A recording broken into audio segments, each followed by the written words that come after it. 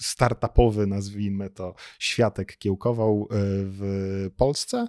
No i rzuciłem etat, bo um, uruchomiłem swój pierwszy, pierwszy startup, jakim był. Jak to się stało, że zostałeś co-founderem? Czyli zakładam, że po prostu objąłeś część udziałów. To, to, no właśnie, no to jest tak, tak, tak kwestia ryzyka, nie? że tak naprawdę, no bo founder, czy tam jeden, dwóch, no oni nie mają pieniędzy, więc pytanie, pytanie pierwsze, po co ten stały startup? Nie łatwiej iść do korpo za, za dobrą kasę?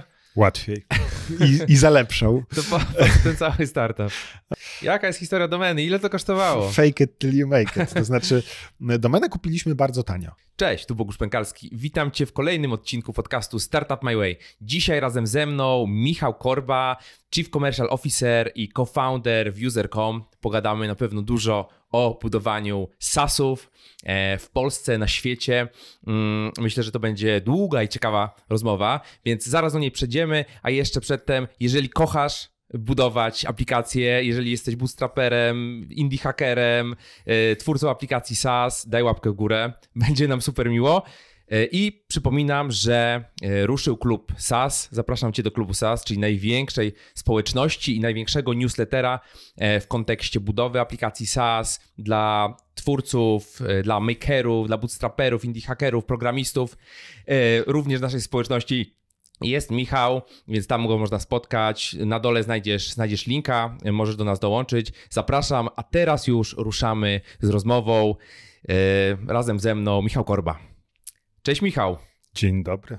Bardzo dzień... miło mi tu być. Dzień dobry, dzień dobry. Witam na startupowym poddaszu u Bogusza tutaj. E, ruszamy z kolejnym, z kolejnym podcastem. Mieliśmy króciutką przerwę przez tą całą sytuację. Ciężko się było spotykać na żywo, a jednak to jest coś, co naprawdę buduje taką, tak, trochę taką więź, nie? Bo jak spotykamy się przez tego Zooma... To jednak nie to samo, nie? To znaczy wygodnie jest, y, że można się spotkać tak.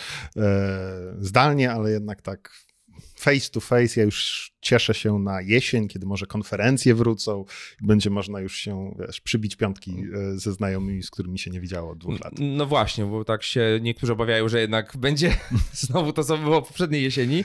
Oby nie. E, Michał, powiedz, e, jakby przedstaw się swoimi słowami, jak ty dzisiaj siebie, siebie opisujesz. O Boże, Nie przygotowałem pitcha. E, cześć, nazywam się Michał Korba. E, na LinkedInie, jak mnie szukasz, to już Mike Korba.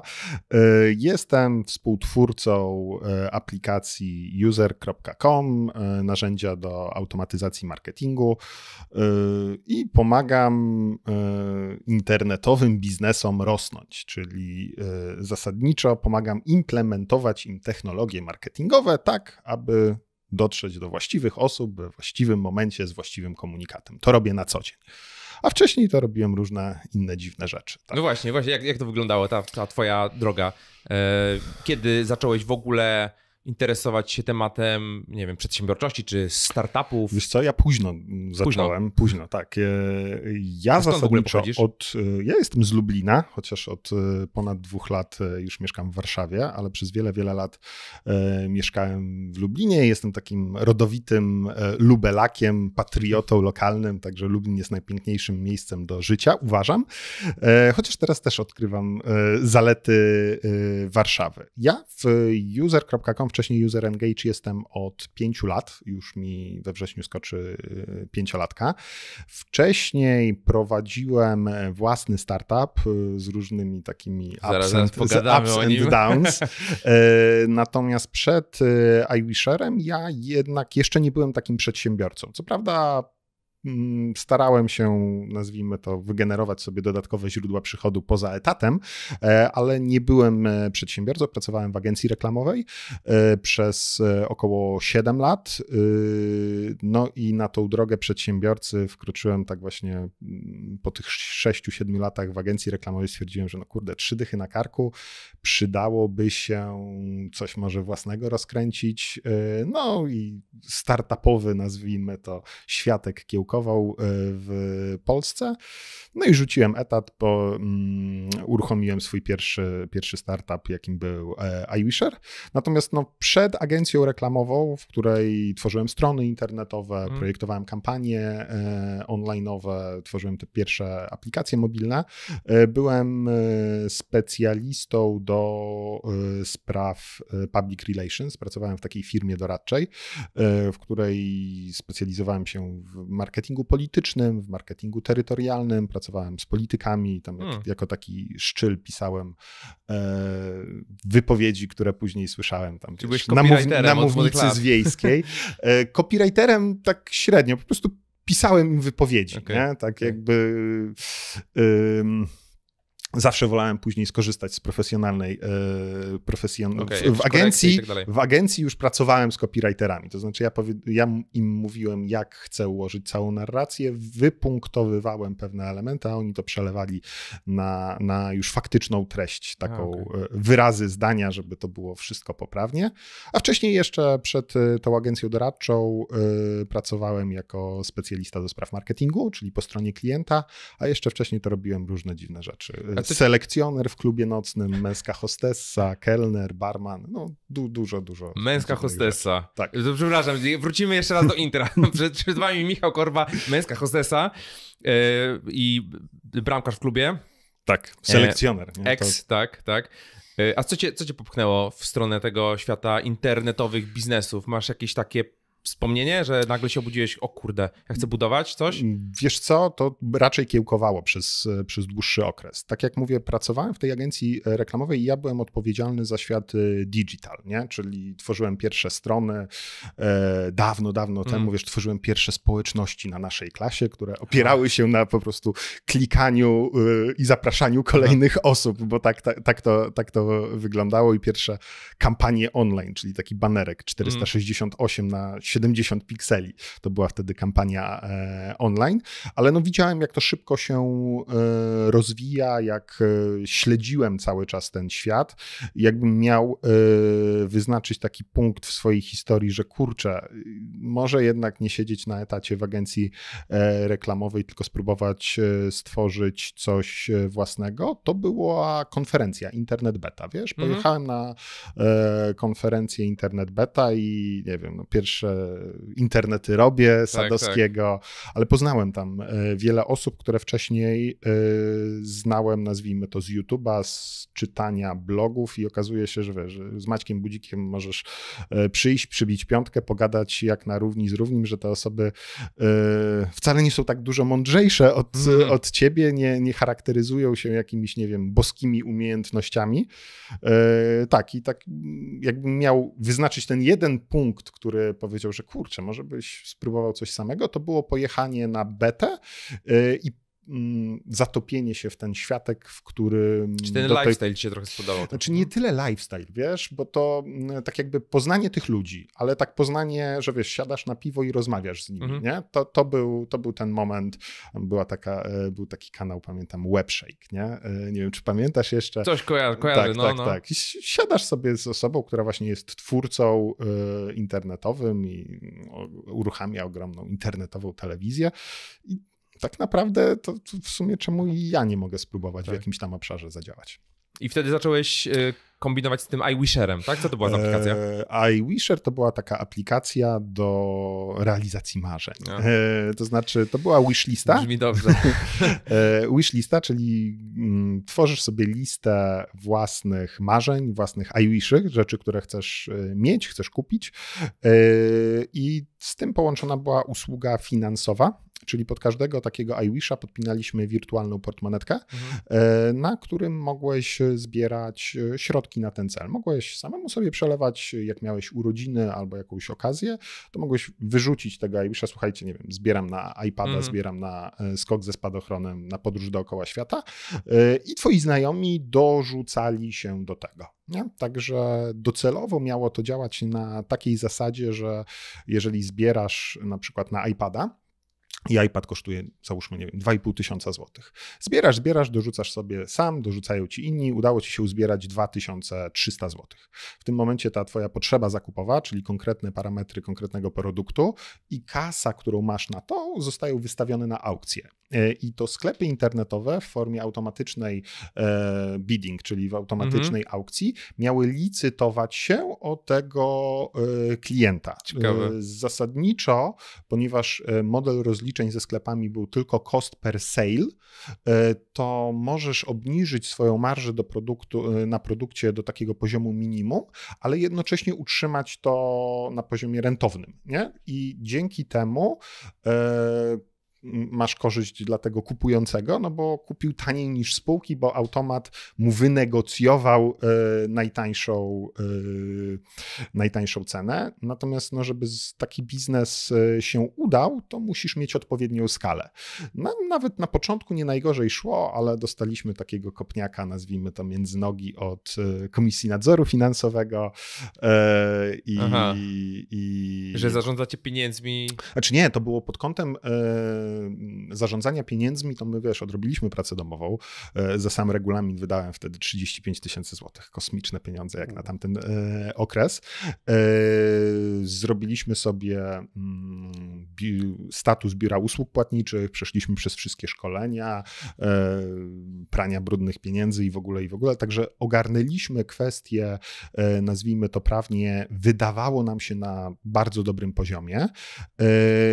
Mieliśmy ten status biura usług płatniczych, tak patrzyliśmy na inne rozwiązania, mhm. które są na rynku e, i na tej podstawie uruchomiliśmy serwis. Natomiast no, fajnie nam launch aplikacji był jakimś tam sporym sukcesem według mnie, bo wpadłem na pomysł, żeby nagrać 100 personalizowanych filmików i tam wysłałem do e, różnych osób z branży które to później szerowały na mediach społecznościowych i tak wiesz, pierwszego, przez pierwsze trzy dni launchu udało nam się pozyskać, już nie pamiętam liczby, ale jakieś 1700 czy 2000 aktywnych użytkowników, którzy założyli konto, e, taki wiesz, growth hacking, nie? No, no, no. E, także także e, całkiem fajnie było i to zaczęło rosnąć, nie? Pierwsze wpłaty, tam wiesz, pierwszy miesiąc z przychodem na poziomie złoty 36, ale drugi miesiąc już na poziomie tam wiesz, 12 złotych.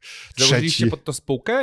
E, tak, tak. tak. E, założyliśmy spółkę, e, pozyskaliśmy finansowanie okay. w ogóle. Na, sam, na, na, na PowerPointa pozyskaliśmy kasę z Unii, z trzy jedynki. E, Park Naukowo-Technologiczny w Lublinie wyłożył nam kasę na to i prywatny inwestor wyłożył nam kasę na to, plus my dołożyliśmy też z własnej kieszeni jako trzech funderów swoje oszczędności na to i założyliśmy spółkę taką celową, żeby przez pewien okres próbowaliśmy robić to, wiesz, wieczorami, E, po godzinach, ale no, po roku no, albo robisz, no albo tak. próbujesz robić. Tak, I, tak. I, stwierdziliśmy, że dobra, y, rzucamy etaty i, i, i, zobaczymy. Nie? Skoro jest jakieś tam e, finansowanie, to tylko o połowę obniżymy swoją pensję i będzie dobrze. Y, natomiast no, KNF, nagrałem kiedyś jakiś filmik, możecie sobie wpisać y, na fuck up Korba e, i tam e, będą dwa filmiki, bo na tych konferencjach fakapowych e, występowałem już dwa razy z różnymi case'ami mhm. i, i jeden opowiadam o tej, o tej kwestii. Long story short, ktoś nas podpieprzył do KNF-u, i no, zaczęła się długa, długa walka z KNF-em, która tak naprawdę trochę ogrążyła ten projekt, a później już trochę po, po takiej półtora rocznej czy blisko dwuletniej walce z KNF-em, e, podejmowaniu kilku błędnych decyzji, e, już nie było tego ducha w narodzie i jakoś. jakoś e, Smutno, ale do, do czego oni się konkretnie przyczepili? Czym był Paragraf trzeci, podpunkt pierwszy regulaminu. Yy, administrator, czy już nie pamiętam jak tam w regulaminie występowaliśmy, świadczy usługi e, płatnicze. I żeby było śmieszniej, to biuro usług płatniczych nie może świadczyć usług płatniczych, tylko musi świadczyć usługi przekazu pieniężnego. Natomiast interpretacja Unii Europejskiej nie rozróżnia e, usług płatniczych od usług e, mm, przekazu pieniężnego, czyli dla nich jest to samo. To to samo i no, kwestia interpretacji. No, z mojej wiedzy... I nie można było zaktualizować po prostu regulaminu? Wiesz co, to, no, to, to, to w końcu się stało. My zmieniliśmy regulamin, zmieniliśmy w ogóle całą podstawę, pod którą działaliśmy. Wyoutsourcowaliśmy całkowicie do takiej instytucji MangoPay z Francji elementy finansowe, mhm. że my byliśmy tylko tą wishlistą, a tak jakby kwestie finansowe ogarniał MangoPay. W pierwszej, w pierwszej wersji było to troszeczkę inaczej. Mieliśmy taką usługę mm, specjalną z banku, podpisaną z usługa, z usługę e, z przekazami e, pieniężnymi.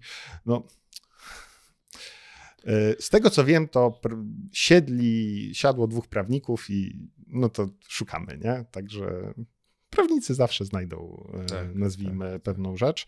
E, Komisja Nadzoru Finansowego jest bardzo ciekawą instytucją, bo nie ma instytucji nadzorczej nad Komisją Nadzoru Finansowego i Komisja Nadzoru Finansowego nie jest urzędem, czyli ja napisałem do Komisji Nadzoru Finansowego, ale oni nie muszą odpowiadać. Oni, nie, to nie jest urząd, że musicie odpowiedzieć tam w ciągu 90 dni, a mm, e, lista ostrzeżeń publicznych ko, od KNF-u mhm. ma tylko i wyłącznie charakter informacyjny, w rozumieniu ono nie niesie ze sobą żadnych e, konsekwencji prawnych, natomiast y, instytucje, które z tobą współpracują, jeżeli jesteś na liście ostrzeżeń publicznych w KNF-ie, to, to jesteś dla nich spalony. Tam jest, wiesz, T-Mobile, tam są różne inne takie tak, podmioty, tak, tak. E, natomiast no, my byliśmy trochę, trochę za mali, jak przenieśliśmy tą usługę finansową do mm, tego zagranicznego dostawcy, to trochę nam się rentowność y, spaliła na manewce, tak jakby w założeniu wszystko było ok, ale musieliśmy podnieść y, koszty wypłaty, koszty pojedynczych płatności, a rentowność na tej pojedynczej płatności spadła diametralnie i tak jakby skalowanie biznesu oznaczało skalowanie straty, a to się troszeczkę nie, nie, nie spina. Nie? No i jak e, się jakby z tego podniosłeś? Zamknęliście tą spółkę? Nie, sprzedaliście? spółka tak naprawdę de facto jeszcze funkcjonuje, e, natomiast no, zmierzamy ją do, do, do, do takiego zamknięcia. Tam były różne próby, wiesz, zainteresowania mhm. tym e, zarówno spółek mediowych, jak i spółek finansowych w, nawet w jakimś tam konkursie banku wygraliśmy swego czasu, ale ten biznes się nie spinał. Mhm. To znaczy, ja nauczyłem się na iWisherze, że dużo lepiej jest e, robić produkt, który ma cenę i dużo łatwiej jest sprzedać e, jednej osobie coś za 3000 zł niż 3000 osób coś za złotówkę. I tak, skomplikowane modele biznesowe, mimo że czasami faktycznie okazują się skuteczne, to chyba jednak nie jest dla mnie. Ja wolę po prostu prosty biznes, wiesz, masz konkretnego klienta, on ma zapłacić za dobrą usługę, za dobry produkt. I tak tyle. jest łatwiej, tak. No A jak... tutaj prowizja od tak, wypłat, tak. no tak tego. Zaczyna się robić yy, trudniej. Za skomplikowane to było. I jak przeszedłeś od tej sytuacji z iWisherem. Jak, jak to się stało, że dołączyłeś do User Engage wtedy jeszcze? User nie? Engage. Wiesz co, ja byłem e, klientem e, User o. Engage. Mm, w userze zainwestowaliśmy, znaczy chcieliśmy blisko rozmawiać z klientami i kupiliśmy sobie interkoma, ale zaczęliśmy za tego interkoma płacić astronomiczne kwoty. E, no i z, e, kolega polecił mi, słuchaj, w Polsce jest taka alternatywa, nie? Sobie sprawdź, User Engage właśnie uruchomili to. E, no i ja zostałem pierwszym tak jakby klientem, najpierw zostałem klientem mhm. User Engage, no i zobaczyłem, wow, kurczę, jak to fajnie wszystko wyklika się. Tutaj jeszcze mogę te dane, które w mm, Intercomie musiałbym prosić programistę, żeby tam po API przesyłał różne zdarzenia, to tutaj mogę sobie tak skonfigurować i te zdarzenia są automatycznie odnotowywane, a i automatycznie automatyzację mogę podpiąć. Także i mam i live chata, i maile, i, i w ogóle, i no kosmos. Pogadałem trochę z Gregiem, e, founderem e, i on mówi, no słuchaj, mamy taki program e, partnerski, nie? Że, że 30% e, od tego, co sprzedasz, to jest dla, dla ciebie. My wtedy w iWisherze zarabiliśmy śmieszne kwoty. Ja myślę, no kurde, to ja jestem w stanie więcej zarobić na prowizji od sprzedaży takiego mm -hmm. fantastycznego softu niż, niż tutaj jako CEO i co-founder. I znowu beta wraca, bo y, jak już wiedzieliśmy, że w iWisherze musimy powoli ciąć, bo no na pewno nie będzie nawet na te minimalne pensje, e, także ciąć e, koszty, to na internet beta pogadałem chwilę z Gregiem i on powiedział, słuchaj, to może byś przyszedł i, i, byłem pierwszym, tak jakby pierwszą osobą od sprzedaży. Ja byłem pierwszym handlowcem e, w User Engage. Jeszcze wtedy nie można było za to, znaczy można było za to zapłacić, ale nie trzeba było. To, to było bardzo ciekawe, że nie było, wiesz, końca triala, mm, e, tylko mogłeś, jak, jak zacząłeś korzystać, to mogłeś korzystać sobie tego bez... Tylko bez... się pewnie wyświetlała informacja. Nie, nie wyświetlała się, nie, nie wyświetlała się informacja. Nie wyświetlała się informacja. E, ja jeszcze nie miałem dostępu do, do takiego wewnętrznego systemu, żeby sprawdzić, e, czy e, ktoś to kupił, czy nie kupił. Także sprzedawałem oprogramowanie, za które nie trzeba było zapłacić. W, ty, też nie mogłem, na, na samym początku nie mogłem podejrzeć, czy ktoś zapłacił, czy nie, ale pierwszego miesiąca udało mi się tam chyba 9 czy 10 subskrypcji sprzedać. E, także, także no, wszedłem w, w User Engage'a jako, jako pracownik na początku. Tak. Także... No i jak to się stało, że zostałeś co-founderem? Czyli e, zakładam, że po prostu objąłeś część udziałów yy, w firmie. Za opłatą. Za, opłatą. Kupiłeś część yy, udziałów, tak? tak? kupiłem, kupiłem część e, udziałów. E, no, już to było po, po jakimś czasie, po ponad roku. E, po jakimś pół roku. Bo tam był tylko Grek, tak? Czy Grzesiek co, ja, tak? ja dołączyłem jako piąty albo szósty pracownik. Spółka jeszcze nie istniała. Mhm. To była tak jakby projekt poboczny do, do projektu Grega innego. Także spółka, ja dołączyłem we wrześniu 2016. E, spółka w ogóle powstała tam dopiero w 2017. W grudniu 2016 był launch na Produkt Huncie, natomiast pierwszy taki klient, płat, e, który podpiął kartę, e, był w chyba maj albo czerwiec 2016. Także ja dołączałem naprawdę na, na takim, wiesz, tam połowa, kurde, rzeczy nie działała. Ale, ale core, core działalności y, działał, y, także było dosłownie trzech programistów, y, dwie dziewczyny na czacie i Greg. No i ja dołączyłem jako tak pierwsza osoba, która miała zająć się, żeby ktoś to zaczął kupować, zaczął, zaczął sprzedawać. No tam wiele, wiele rzeczy, ale Greg w pewnym momencie zaproponował, nazwijmy to, opcje udziałowe. My przez długi, długi czas bootstrapowaliśmy, mhm. czyli Cała spółka była de facto sfinansowana przez, z pieniędzy Grega, które on uzyskał po sprzedaży swojej poprzedniej firmy. E, I, i tak jakby finansowaliśmy to z tego i no, zespół rósł, natomiast w pewnym momencie e, ja powiedziałem, słuchaj Greg, bo tak już gadaliśmy, nazwijmy to z budżetem na, na tak, e, tak.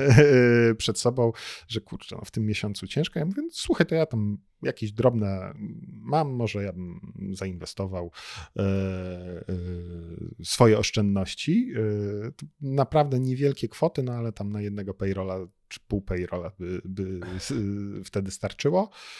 Także objąłem pewne mm, udziały w ten sposób. No i Greg stwierdził, że to. Możesz podzielić ile? To... tak, ja najpierw wziąłem. Zakładam, że to pewnie widać w, i tak w KRS-ie gdzieś tam. Nie widać, poniżej 10% nie okay. widać. ja wziąłem 5% udziałów.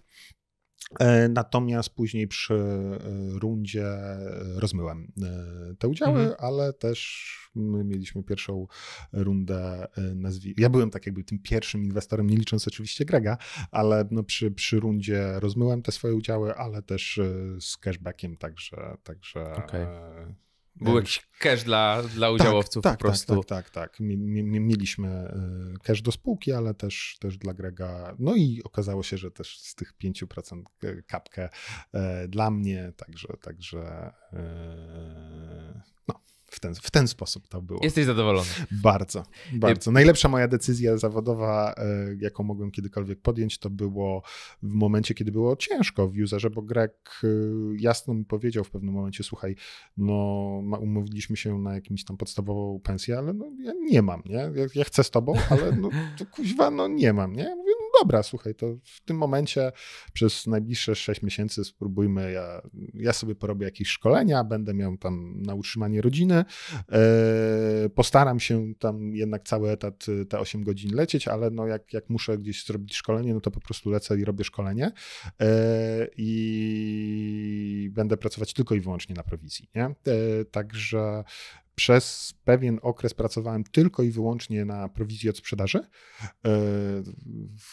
E, I tak trochę się śmieję, bo to są ogłoszenia. Szukam handlowca do, e, mm, żeby tworzył ze mną firmę i prowizja tylko od sprzedaży. No to wszyscy hejt, nie, tam co to w ogóle wyzysk, tak, tak. E, hejt na foundera, który coś takiego proponuje i w ogóle żałość dla ludzi, którzy się E, na to godzą. No. Z mojej perspektywy najlepsza decyzja zawodowa, jaką kiedykolwiek w życiu podjąłem.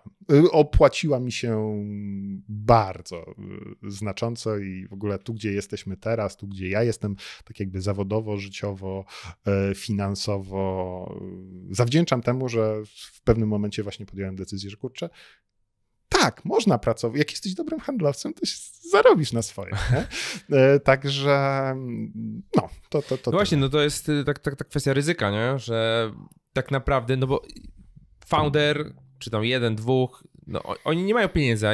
Załóżmy, że nie chcą brać tych pieniędzy z rynku, mhm. nie chcą dokładać dodatkowo, dodatkowego partnera w postaci inwestora. Mhm. Chcą to budować sami, przynajmniej do jakiegoś y, rentowności i, i tak dalej. Potem mhm różne są drogi.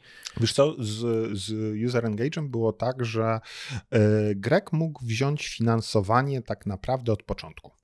Ja pamiętam, że na tej becie, na której się dogadaliśmy, e, że ja jednak będę tym, tym pierwszym handlowcem, e, to dosłownie fundusze chodziły za Gregiem.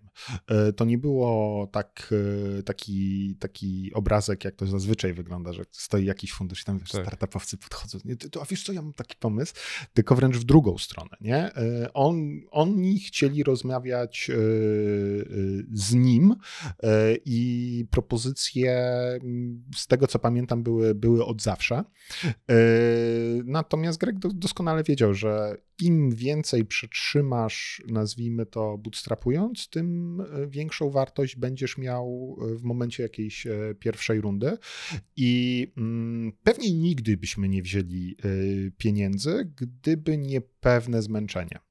E, bo my bootstrapowaliśmy okay. już do poziomu takiego MRR-u na poziomie tam 200 tysięcy, 170 tysięcy, gdzieś mniej więcej w tym złotych, nie, miesięcznie. Mm -hmm. Natomiast to była taka, wiesz, co miesiąc nie wiesz, czy będzie na, na pensję, a jak już troszeczkę zwiększysz, no to zatrudniasz osobę, żeby po prostu te, te, ten, ten backup y, zrobić. My też strasznie szeroki produkt mamy, także te potrzeby technologiczne, potrzeby programistów są y, również bardzo duże oraz działamy na ekstremalnie czerwonym oceanie, czyli rynku niesamowicie konkurencyjnym, zarówno na rynku lokalnym w Polsce, gdzie gdzie, gdzie masz takich graczy jak, nie wiem, Seismenago, e, GetResponse, iPresso czy, czy, czy Synrise, e, jak i na rynku globalnym, gdzie wiesz, jest HubSpot, jest ActiveCampaign, jest Autopilot w branży czatu, mhm. jest Intercom, jest Drift, są te e, systemy, które są rozpoznawalne bardzo w Martechu, mające wiesz, e, e, setki milionów e, finansowania, jak Klawiyo chociażby w branży e-commerce, z którym konkurujemy w, w tym segmencie rynku. Mm, I my stwierdziliśmy, że tak jakby no już, już po prostu wiesz, zażynanie się skutkuje zdrowiem i stwierdziliśmy, że dobra, trzeba, trzeba Grek oczywiście jako, jako główny, jako founder, dobra, to poszukajmy inwestora a może wybierzmy inwestora, mm, bo, to, bo to, było, to, to, było o tyle komfortowe, że, że, że faktycznie można było oddzwonić do kogoś, nie? Tak, tak na tej zasadzie. Ale tak jeszcze przeanalizujmy, dlaczego ci inwestorzy się ustawiali e, tak za tym produktem. Z tego, co ja widzę, no to Greg jest technicznym founderem. founderem. Tak. Napisał produkt w zasadzie sam, tak? To, to z wersją? dwoma, trzema programistami. Aha, okay. tak, także, także tam nie, nie tylko sam, ale tam było dwóch, trzech. I dowiózł go do jakiegoś tam jakiegoś poziomu.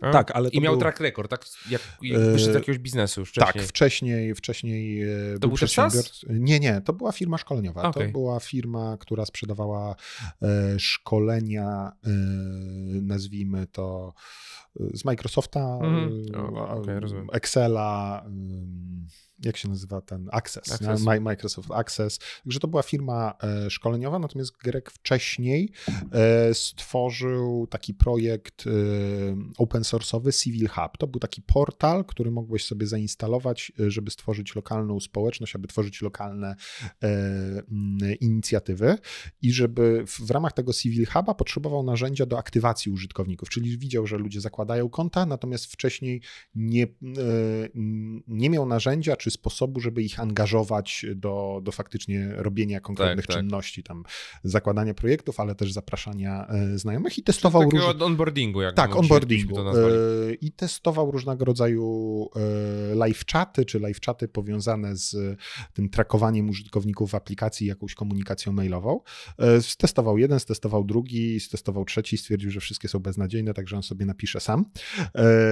I napisał właśnie sam do tej pory pory, jak chcesz wywołać widget y, w konsoli przeglądarki, mm -hmm. to jest Chief Chat, nie? Komenda jest Chief Chat, żeby wywołać, żeby sprawdzić, czy, czy ten, to jest właśnie od Civil Hub Chat, czyli pokazał to jedne, najpierw stworzył rozwiązanie dla siebie, później pokazał jednej osobie, pokazał dru, drugiej osobie, no dołóż to i to i faktycznie ja będę w stanie za to płacić, także ubrał e, kawałek swojego softu w e, produkt, postawił jakąś e, drobną stronkę, opublikował ją za, za friko praktycznie na beta liście. Stamtąd się zgłosiły e, pierwsi klienci, e, czy pierwsi użytkownicy, bo to jeszcze klient no tak, tak, płaci, tak, tak. a to, to, są, tak. to są pierwsi, pierwsi użytkownicy. Natomiast pierwszy klient chyba w marcu 2000, mm, e, nie w marcu, a w maju 2016, czyli tam trzy miesiące przed tym, jak ja dołączyłem, postanowił, że no dobra, to, to gdzie tu się płaci? A tutaj masz linka. Nie? No i on zapłacił za pierwszy, pierwszy raz abonament. Ja jak dołączałem, to tych klientów było dosłownie, wiesz, naście, nie? Także to, to był bardzo, bardzo wczesny e, etap użytkowania, natomiast coraz więcej osób zaczynało korzystać. I to, ja... i to byli polscy klienci, czy to Nie, byli... to było od początku Global. Od początku Global byli pierwsi polscy klienci, natomiast strona była tylko w języku angielskim, aplikacja była tylko w języku angielskim. Po dziś dzień ja y, prezentuję naszą aplikację tylko w tłumaczeniu angielskim, e, bo niektóre rzeczy są nawet nie do tłumaczenia. Znaczy, mamy coś takiego, że wszyscy, cała dokumentacja, nawet, e, nie wiem, prezentacje wewnętrzne, e, notatki ze spotkań, dokumentacja wewnętrzna jest tylko i wyłącznie prowadzona w języku angielskim, a czasem jest to, to przetłumaczone na polski, nie? Także yy, no taki, taki English first y, from day one. Yy, ale mówisz klienci globalni, to były Stany, czy to był... To, to był klient, pierwszy klient to, był, to byli klienci ze Stanów, nie? Także ktoś zobaczył ten projekt na betaliście, mm -hmm Zalogował się, spytał się, gdzie tu się kartę pod, podpina, a to dostał indywidualnego linka, bo jeszcze nie było dostał, tego. Dostał linka do Blika. No, mniej, mniej więcej, no, mniej więcej. What is Blik? E, no, może nie aż tak, ale... ale Wtedy ale... nie było Blika chyba. Nie, chyba. Chociaż nie, nie, może, już, może już, już, już możliwe, że był. E, podpiął kartę, zapłacił e, w Braintree i przez długi, długi czas był to, był naszym klientem, no ale później pojawiły się, wiesz, jakieś konkursy startupowe, fame trochę w Polsce y, organiczny. Y, raczej nigdy nie wydawaliśmy pieniędzy na y, promocję w polskich mediach.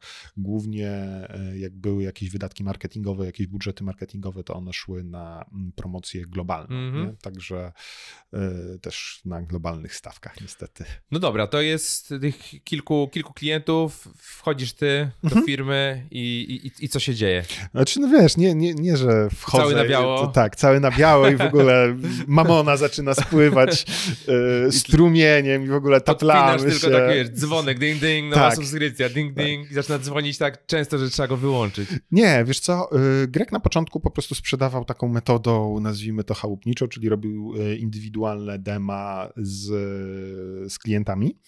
I ja dokładnie zacząłem to robić, mhm. czyli robiłem dema z klientami, pokazywałem im narzędzia, a później, wiesz, pilnowałem, żeby po tych dwóch tygodniach, no to ten to może jesteś zainteresowany E, e, zakupem tego, tego naszego I na takim demo, de, demie co, co, co pokazywałeś? Co Aplikacje. pokazujesz? E, wiesz co, pokazuję... Ale jakąś jak, ścieżkę jedną?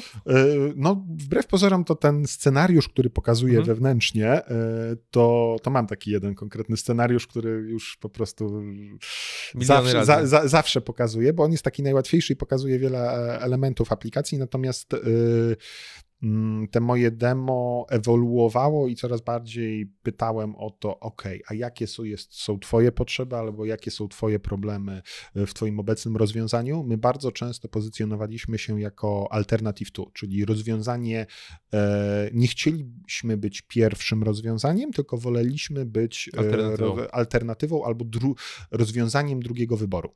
Czyli czy to w Polsce próbowałeś wdrożyć marketing automation z Salesmanego, coś ci się tam nie poszło, mhm. nie udało się, dlaczego ci się nie udało, co się nie, nie wyszło.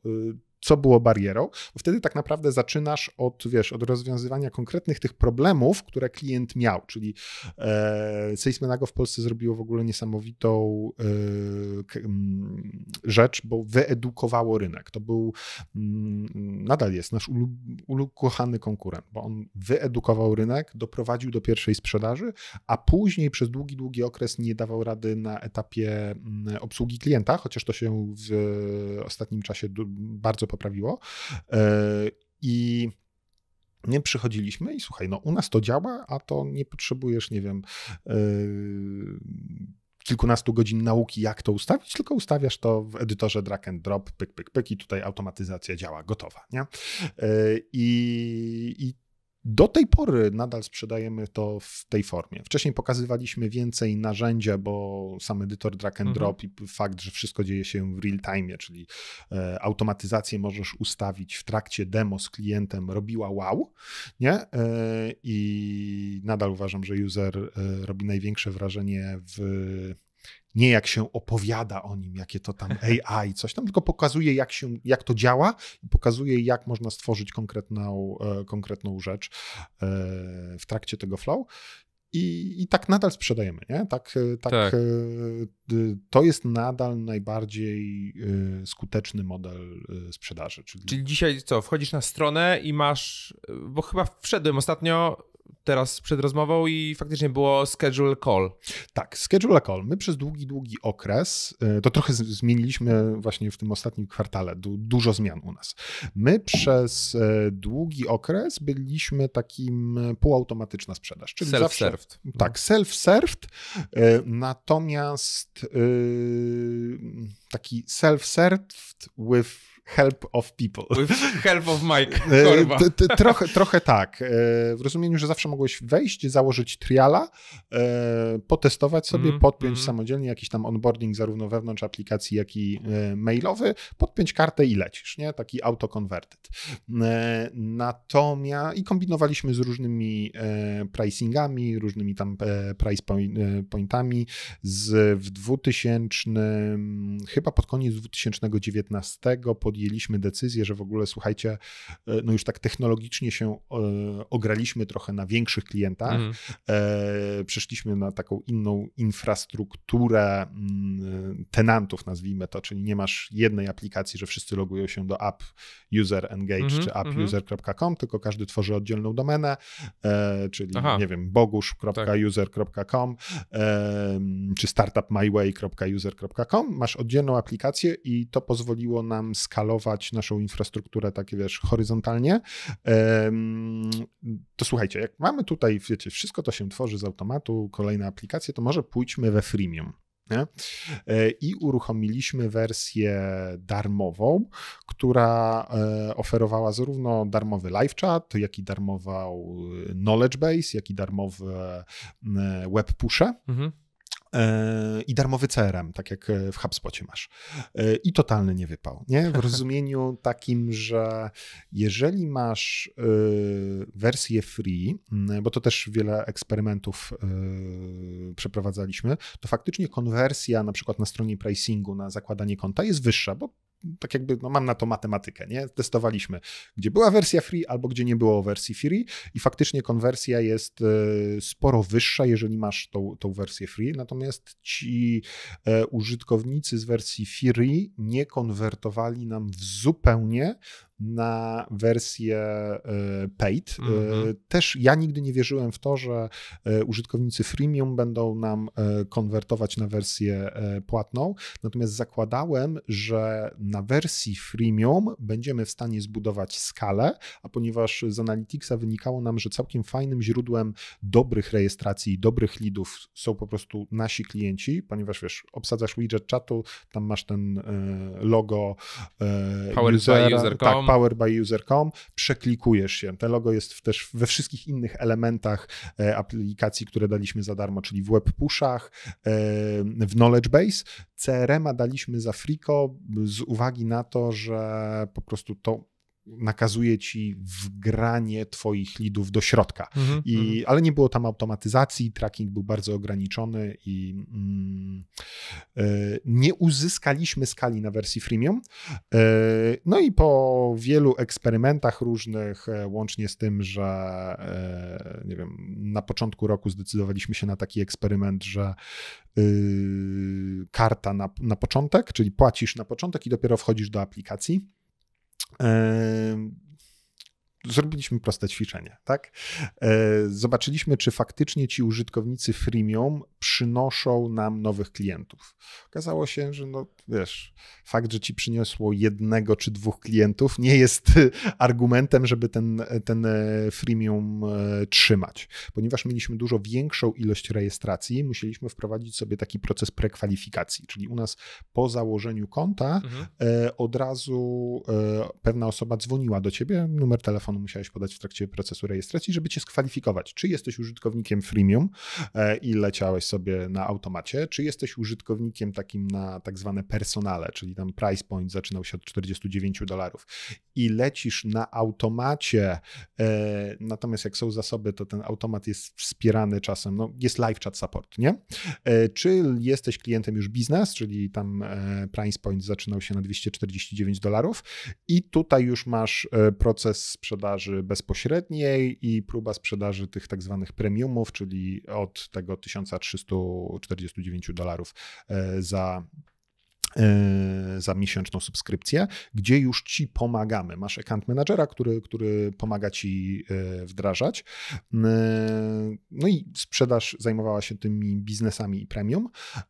Natomiast my mamy dynamiczny pricing, czyli zawsze tą walutą zależną od tego, ile płacisz, była ilość kontaktów w bazie. Czyli jeżeli twój biznes rośnie, no to my rośniemy z tobą i strasznie trudno wyliczać później różnego rodzaju wskaźniki, mhm. takie klasyczne w SaaSach, e, jeżeli masz ten dynamiczny pricing, e, bo ten expansion MRR czasem ci pokrywa churn, e, klienci czasem, wiesz, downgradują się. No, nie jest to takie łatwe jak trzy plany i wiesz, i okay. flat fee i, i No wiadomo, no, trzeba zawsze się, zawsze mieć z jednej strony albo per seat, mhm. a najlepiej mieć plany, per seat i jakiś, jakąś metrykę taką zależną od zużycia, nie? Znaczy Dane, ja, ja jest, ja my nigdy nie kasowaliśmy klientów e, per seat. Mhm. E, zawsze tak jakby traktowaliśmy to, że możesz, im więcej osób w organizacji będzie pracować na naszym tak. systemie, tym lepiej. E, ja jestem mocny. Takie nowoczesne fan, podejście. Tak, my jesteśmy fanem, ja też osobiście jestem fanem takiego usage-based pricing, nie? Tylko, że u nas tym głównym elementem usage usage-based, e, są takie action pointy, data pointy, czyli z jednej strony ile my płacimy za serwery danych, e, które przetrzymujemy dla ciebie, z drugiej strony ile tych automat, kostek automatyzacji czy procesów wykonujemy e, e, dla ciebie. Tam no, dochodzą jakieś wysłane maile czy wysłane wiadomości, natomiast ludzie tego nie rozumieją. Jak próbowaliśmy, wiesz, robić jakieś tam cenniki na bazie właśnie tych data pointów i action pointów, to wiesz, no dobra, ale ile to ja będę miał, nie? Także ludzie nie byli pewni, ile będą płacić, mhm. co powodowało pewne obiekcje, dlatego uprościliśmy to do liczby liczby kontaktów y, i, i tak się trzymamy i tak pewnie się będziemy trzymać. Natomiast wracając do, do początku Twojej wypowiedzi, w której powiedziałeś, że wszedłeś ostatnio na e, cennik, no po prawie pięciu latach na, na rynku zdecydowaliśmy się schować cennik. E, zdecydowaliśmy scho się schować e, rejestrację. Zamknęliśmy wersję freemium, to znaczy tym klientom, którzy faktycznie aktywnie korzystają, tam kilku niech sobie korzystają z freemium. Natomiast zamknęliśmy mm, całkowicie rejestrację e, ze strony w formacie takiej, takiego e, schedule demo, umów się z nami, to pogadamy. Mm, I na razie to się sprawdza. To jest oczywiście wczesny eksperyment, bo to zamknęliśmy, nie wiem, 8-7 tygodni temu. E, natomiast fakt faktem ilość rejestracji versus ilość schedule demo spadła znacząco. Natomiast patrząc na SQL, czyli e, to, co wcześniej było w procesie po rejestracji, robiliśmy tą prekwalifikację i prekwalifikator kwalifikował, czy to jest do zajęcia się dla, przez handlowca, tak, czy nie tak, do tak. zajęcia przez, się przez handlowca, e, to tych SQL-i no jest dużo, dużo mniej. Znaczy, e, tak jakby rejestracji jest dużo, dużo mniej, natomiast SQL jest na przybliżonym poziomie. Także. Czyli tej qualified lead, tak? Tak, e, quali, e, tak, ja tutaj taką. Bo SQL to wiesz. Sales tutaj... qualified leads, Dokładnie. czyli lead, który. Nie SQL w kontekście baz danych. Nie w, nie w kontekście query, nie, nie, nie, tak, nie, tak. nie, nie w, w kontekście zapytania do bazy danych, w kontekście takim, takim salesowym, czyli tak, tak, tak lead, który może być przekierowany do, do, do działu sprzedaży, jest na podobnym poziomie, a my potrzebowaliśmy dwóch osób, które by obdzwaniały cały czas te ilości rejestracji e, i ich kwalifikowały. Teraz e, je robi to jedna osoba i to też na, na, na, na ćwierć etatu tym się zajmuje, czy na pół etatu się tym zajmuje.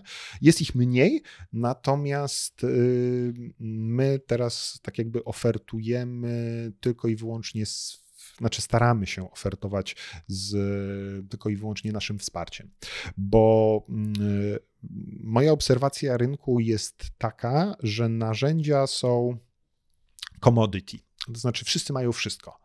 E, to, że my mamy jakąś funkcję, a nie ma jej Synerize, to Synerize zaraz dołoży. To, że my Salesmanago ma jakąś funkcję, a my nie mamy, to my zaraz dołożymy. Wszyscy są wszystkim i wszyscy są Customer Data Platform, Marketing Automation albo jak tam Marketing Cloud. I z jednej strony mm, poszło to strasznie w kwestię takiego all-in-one tool, natomiast all-in-one toole nigdy nie będą idealne. E, I my widzimy, że idealnie wpasowaliśmy się z uwagi na background Grega taki e, techniczny. My mieliśmy zawsze bardzo dobrze zdokumentowane API, e, publiczne API, także mm, też nas naj, najchętniej i najlepsi klienci, którzy, którzy z nami pracują, mają background techniczny. Im się dobrze ten soft wdraża, bo jest wszystko jasno udokumentowane, jest y, mm, technicznie dobrze, y, techniczni funderzy lubią usera. To tak, tak samo jak ze Stripe'em, nie? Które tak. ma najlepsze API z tych platform e, Ale Stripe przez bardzo długi okres, wiesz, e, on świetnie, oni świetnie zagrali marketingowo, e, bo to było, wiesz, API for payments, tak? Payments for developers. Tak, tak, tak, tak. My komunikacyjnie jednak kierowaliśmy się do tych marketerów, bo tak jak w kwestii płatności decyzję podejmuje, może podjąć CTO, tak? E, czyli podejmuje techniczna osoba, która będzie wiedzieć, ile tych bibliotek ma, to jeżeli chodzi o rozwiązanie klasy, nie wiem, CRM, czy, czy, czy CDP, Customer Data Platform, czy Marketing Automation, to e, IT może dać swoją rekomendację, natomiast e, decyzję podejmuje jednak marketer, który będzie pracować na tym. No tak. I taki techniczny marketer jest lubi, nazwijmy to nas, y, taki nietechniczny marketer czasem się gubi, bo jest to za duże narzędzie, ale możliwe, że my z takiej komunikacji mm, mocno per marketerze y, pójdziemy, przesuniemy się troszeczkę w taki oczywiście język korzyści, ale bardziej composable e-commerce. Znaczy nie mhm. composable, mm -hmm. composable e-commerce to jest tak jakby trend, który jest w e-commerce konkretnie, że zauważ, że kiedyś no, jak tworzyłeś oprogramowanie, nie wiem, sklep internetowy, no to musiałeś mieć tego ogromny, nie wiem, stawiałeś to na Magento i wszystko było w Magento, ale teraz, e, ok, backend masz na Magento, ale, albo na jakimś commerce toolsie, ale front to już sobie zrobi z jakimś Viewstore frontem. E, pewne elementy logistyki to wepniesz tutaj i tak troszeczkę też jest e, Koszyk podmienisz jeszcze? Koszyk podmienisz, no do, do, e, dokładnie i najwięksi albo liderzy w ten sposób to robią, nie? Tak.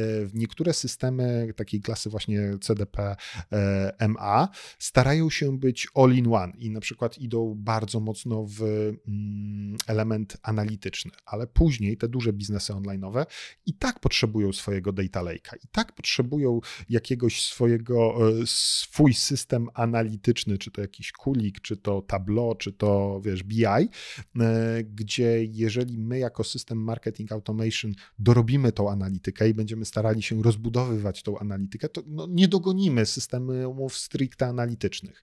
E, także teraz my staramy się być takim Customer Data Platform Marketing Automation, czyli faktycznie po z, mamy y, całe, wszystkie informacje o kliencie, czyli wiemy, co on konkretnie zrobił, e, czy to w, na Twojej witrynie internetowej, czy to w Twojej aplikacji mobilnej, e, ale z uwagi na to, że mm, tak jakby bardzo wielu klientów integruje się również poprzez API, my możemy dostawać, nie wiem, informacje z programu lojalnościowego, Niektórzy klienci u nas ogarniają program lojalnościowy, niektórzy klienci decydują się na ogranie po programu lojalnościowego w zewnętrznym softie i tak jakby mapują do nas e, tylko e, i wyłącznie te dane. Także my mamy wszystkie dane i staramy się ogarniać wszystkie kanały komunikacji, czyli wiesz, e-mail, SMS, e, e, pusze na mobilkę, web pusze na przeglądarkę y, i cała komunikacja on-site, mhm. czyli dynamicznie zmieniane strony, y, pop-upy, wszystko na warstwie, no i ten interfejs konwersacyjny, czyli live chat i, i, i chatboty y, to ogarniamy, natomiast mamy też takie wdrożenia, gdzie, gdzie wiesz, my ogarniamy tą część marketingową, ale do części bokowej już jest wrzucony inny soft, nie? I my tam tylko pobieramy informacje po API. Nie? No tak, też taki, taki trend widzę. Chociaż z jednej strony wiesz, y, te narzędzia, które są bardzo dedykowane, mhm. są w dużej mierze najlepsze, jeszcze jak się potrafią zintegrować ze wszystkim. No a z drugiej strony mamy ClickUpa, który rośnie i jest all-in-one tool, nie? I mamy Notion, który też jest w sumie taki all-in-one, wszystko przenosimy do Notion. Tak, do przy, ale, ale wiesz co, ja tak widzę taki trend, też jestem użytkownikiem. Do Notion nigdy nie siadłem, muszę kiedyś się przekonać e, bardziej. API takim... uruchomili teraz ostatnio. E, tak, wiem. E, może, mo, może, o dzięki wielkie, może to będzie ten moment, e, żebym się bardziej na, na Notion zdecydował. Znaczy bawiłem się, ale nie, nie korzystam aktywnie na co dzień, nie? Jakby notatki, doksy mi wystarczają. E, natomiast zauważ, jaki jest trend. Powstaje takie narzędzie genialne, albo swoim prostym e, UI-em jak Notion, albo e, mnogością opcji jak ClickUp i wszyscy się na, early adopterzy się na nie rzucają, tak, tak. a później early adopterzy, ale to wolno działa, kurde, nie? Ale tutaj te API muli, nie, no, no i co ja będę uruchamiał to, żeby mi to muliło. Nie, to ja sobie jednak, tak jakby e, early adopterzy rzucają się na takie narzędzie, a później pod kątem tego, że mm, bardzo ten efficiency, czyli te, ta szybkość działania tak, jest tak. E, konieczna, jednak decydują się na spięcie e, tego swojego ekosystemu trochę innymi, innym zestawem narzędzi. Mm, ja jakbym miał tak wróżyć na, w kwestiach systemów marketing automation czy CDP, to jednak e,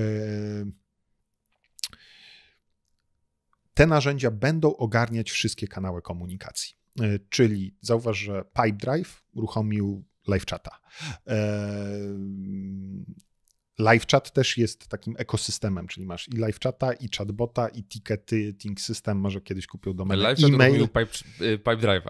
E, nie, e, znaczy ja mówię, że Pipe Drive uruchomił w tak, ramach tak, swojego, tak, tak, tak swojego tak, systemu rozumiem. tego live chata, a live chat już jak mówię live chat, to chodzi mi o tą wrocławską spółkę. Ale mm, no Intercom też no, trudno powiedzieć, że to jest, wiesz, tak. tylko Duże firmy nie budują zewnętrznych swojego live chata, tylko korzystają z tego, co już jest, nie? Tak, tak, tak. E, wydaje mi się, że e, w pracy marketera wygodniej jest mieć te wszystkie kanały komunikacji w jednym miejscu i zarządzać z jednego poziomu. Natomiast jeżeli masz e, jakąś bardzo taką specyficzną kwestię, że nie wiem, no, masz bardzo duży natłok na boku i po prostu biuro obsługi klienta lepiej, żeby było ogarnięte przez jakiś taki kawałek mm. softu dedykowany, spięty z twoją, nie wiem, produkcją i w ogóle, i w ogóle, to możesz to sobie wy, wy outsourcować. Wydaje mi się, że takie proste narzędzia w dalszej perspektywie raczej będą tracić y, na, mm, na rynku y, i spójrz na Tidio, nie? Tidio zaczynało od live chata, ale weszło w maila i weszło w Messengera, czyli to też jest y, i tam pewne automatyzacje wchodzą. Oni celują w dużo niższy price point i dużo bardziej masowo na rynku tak. się rozprzestrzeniają niż, niż my. My jednak, no, klient musi dojrzeć do marketing automation mi się wydawało kiedyś, że e, skoro ja e, jako ten techniczny marketer, wiesz, widzę wiele zalet, nie? Tego, że kurczę, to ja sobie tutaj w Google Tag Managerze pokonfiguruję eventy, mm. przesyłam, nie muszę prosić IT, wszystko sobie zrobię sam, no to to jest w ogóle super, nie? Ale marketerzy nie umieją Google Tag Managera, nie umieją Google Analyticsa i na masowym rynku zbyt techniczne e, narzędzia po prostu trudno im się e, przebić, bo ta korzyść, do czego to jest, nie jest taka prosta, nie jest taka oczywista. Nie? Opowiedz mi, e, w ogóle mieliśmy od tego, od tego zacząć. Na jakim etapie Mówiłem jest, ci, że jestem gadułą. Tak, na jakim etapie jest user.com? W sensie ile tam jest osób zatrudnionych, jak, jakie macie przychody, żeby... Wiesz żeby... co, w tym tak na, na, na dziś dzień jesteśmy na samym początku naszej drogi, no, nie? Także, także, także to jeszcze e, w tym momencie jest około 50 osób na pokładzie. E, przychodowo jesteśmy na no tak 650 tysięcy MRR-u, nie? czyli jakieś tam 170 tysięcy złotych. To 170 tysięcy dolarów, mhm. 650 tysięcy złotych MRR. To jest, to jest taki naprawdę bardzo, bardzo początek. Bardzo początek, bo za mało klientów ze Stanów. E, wiesz co, mm, w Stanach próbowaliśmy walczyć yy, bardziej aktywniej mhm. w, w budżetami y, reklamowymi i to nas dosyć dużo kosztowało. I w Stanach oczywiście mamy rynek, ale też Ameryka Południowa jest bardzo ciekawym rynkiem. E, ostatnio bardzo dobrze nam się sprzedaje do mm, Skandynawii czyli Szwecja, Norwegia. No tak naprawdę jesteśmy global first, także bardzo często, wiesz, trudno umiejscowić tą spółkę w rozumieniu e, naszymi klientami są spółki globalne, o tak to no tak. I oni mogą mieć, ok, development na Ukrainie, e, customer e, support w Londynie, a founderzy mogą być z Silicon Valley, albo, albo jak w dowolnej kombinacji, nie? Ale oni głównie produkują globalne biznesy. Czasem e, lokalizowane na, na konkretny rynek, takie jak, nie wiem, Educations.com, czy, czy, czy takie większe firmy, jak na przykład AMC, taka telewizja, która tam Walking Dead y, ogarnę, mm, producent Walking Dead, mhm. ale mamy, na przykład nasz największy klient jest z Brazylii, nie? To, to jest taki, taka firma Q Concursos. To jest trochę, musiałbym wytłumaczyć specyfikę e, rynku pracy w Brazylii, ale taki pracuj.pl dla dla pracowników e, instytucji publicznych. Tam się troszeczkę inaczej zatrudnia w Brazylii, to znaczy e, wszystkie publiczne stanowiska są robione przez konkurs państwowy i oni sprzedają kursy do, na specyficzne stanowiska publiczne. Tak Jasne. jak u nas masz egzamin na prawo jazdy, który jest, egzamin jest państwowy, e, ale szkoły jazdy są e, prywatne, to tam na tej zasadzie, nie wiem, egzamin na bycie policjantem, pracownikiem urzędu skarbowego albo nauczycielem, wszystko jest państwowe, ale kursy do tego są prywatne i ku konkursu jest liderem. Skąd ci klienci przychodzą? Jak wygląda taki... Z internetu. O kurde, no to teraz pozamiatałeś.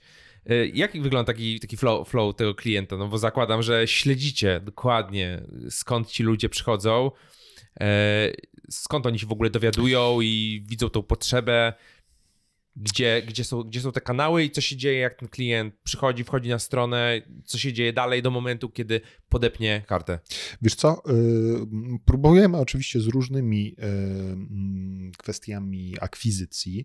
Y, jeżeli chodzi o ten first acquisition mhm. point, to fajnie sprawdzają nam się marketplace'y. E, trochę inwestowaliśmy w płatną reklamę na przykład na Capterze e, i natomiast teraz, teraz przycięliśmy i nadal jest to dobre źródło. Bo bałem się, że jak e, przez, przez no, grubo ponad półtora roku przeznaczaliśmy na Capterę całkiem przyzwoite budżety, to że jak utniemy, to Captera zniknie z pozycji Google Analyticsowej. Mm -hmm.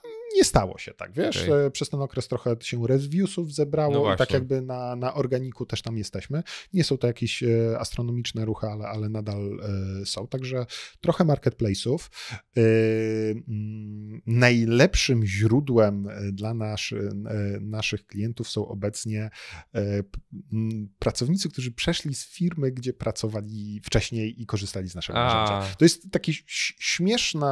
Ta, ta, ta, ta oddolna inicjatywa, tak, nie? Ktoś tak. zna twoje narzędzie i i po prostu e, tak, i, i będzie korzystał. To jest na tej tak. zasadzie tak jak. Pracował wiesz, na Slacku, przychodzi do firmy, jak to nie macie Slacka? No dokładnie. Instalujemy. Tak, zauważ, y, tak jak ty się wychowałeś na, nazwijmy to, Active Campaignie, to w ogóle tak. wiesz, tak jakby, mimo że mógłbyś to spokojnie przerzucić, nie wiem, do HubSpota, spokojnie przerzucić do nas, to tak jakby jesteś przyzwyczajony do pewnego flow nie? Tak. E, I no jesteś przyzwyczajony do pewnego flow i chcesz, chcesz z tego narzędzia korzystać, bo u ciebie, dla, dla ciebie nawet ta nomenklatura nazewnictwa, która Dokładnie. występuje w, w, aplikacji, e, jest tak jakby najbardziej naturalna. I e, to, są, to jest najlepsze źródło leadów w rozumieniu, że to są kontrakty obecnie największe, gdzie, gdzie po prostu no, widzimy, że to jest, wiesz, referal, nie? Natomiast no, referali trudno skalować, no niestety bo y, najlepszym sposobem ref, y, skalowania referali jest po prostu dowożenie, zrobienie dobrej roboty i y, one po prostu wtedy rosną. Natomiast no, próbowaliśmy mm, zarówno w paid searchu trochę pokonkurować, bardzo trudno. Mhm. E, mimo, Na jakie frazy? Wiesz co, próbowaliśmy zarówno narzędziowo, e, czyli wiesz, pod live chata, czy pod e-mail marketing, czy pod e, marketing automation, czy pod na przykład CRM dla real estate, gdzie nie jesteśmy takim perfekcyjnym CRM dla real estate, ale, ale całkiem pamiętam, że akurat to, ta grupa reklam hmm. przyzwoicie konwertowała. E, natomiast stawki są strasznie drogie. To no pamiętaj, że my mm, konkurujemy na rynku globalnym, a e, stawki na rynku globalnym są troszeczkę inne niż na rynku polskim. No i niższa, ta nisza jest po prostu za no, to nie jest nisza. Bardzo no. masz, masz te badanie coroczne, tam wiesz, Martech e, Industry, ile tam... Aczkolwiek rośnie to cały czas. Tak, nie? rośnie, rośnie cały czas i jest e, bardzo, bardzo duże, także rynek e, tort rośnie, nie? Tak. I to my też jesteśmy... I tam milion dolarów MRR-u to każdy gracz w zasadzie, jak no, się postara, to, do, dokładnie, to dojedzie. Do, do, dokładnie. E, rośnie. No, my też ro, rośniemy na tej fali i, e, i pewnie będziemy rosnąć jeszcze, jeszcze długi e, okres. Mm, natomiast próbowaliśmy z Facebook Adsami, nie? zarówno e, na takim topie, czyli żeby złapać ten first point of acquisition, jak i remarketing. No remarketing nadal utrzymujemy, natomiast no wszystko sobie sprawdzasz, e, wiesz, ile z tego źródła przyszło klientów, nie, nie rejestracji, nie leadów, nie, no, no, na tak. pewno nie rejestracji, przy modelu freemium to w ogóle vanity metric. Można już myśleć o SQL-ach, natomiast no, najlepiej patrzeć na jednak tą, wiesz, fizyczną sprzedaż, nie? E, I mm, to nie jest tak, że ta, mm, te kanały płatne nam totalnie nie konwertowały, natomiast no, nie konwertowały na takim poziomie e, zwrotu z inwestycji, na którym byśmy chcieli. Albo y, musisz wyważyć, nie? Bo jeżeli agresywnie się reklamujesz, masz dużą ilość lidu i agresywnie sprzedajesz, to będziesz miał troszeczkę większy czern.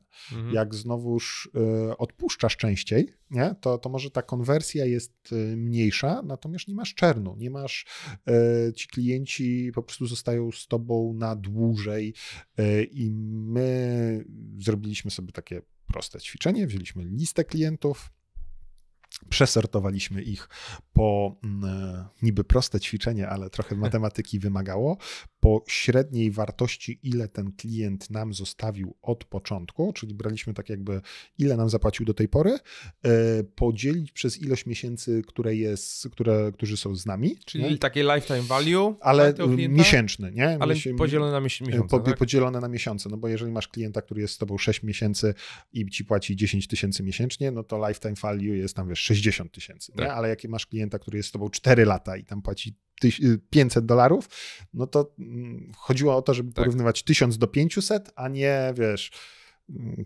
kilka tysięcy do tych 6 e, tysięcy, kilkanaście tysięcy do tych 6 tysięcy. E, I przesortowaliśmy ich e, i sprawdziliśmy sobie, z który okazało się, że ta, ten pierwszy kwadryl to jest taka pięciokrotna, piętnastokrotność tego dolnego kwadryla, nie?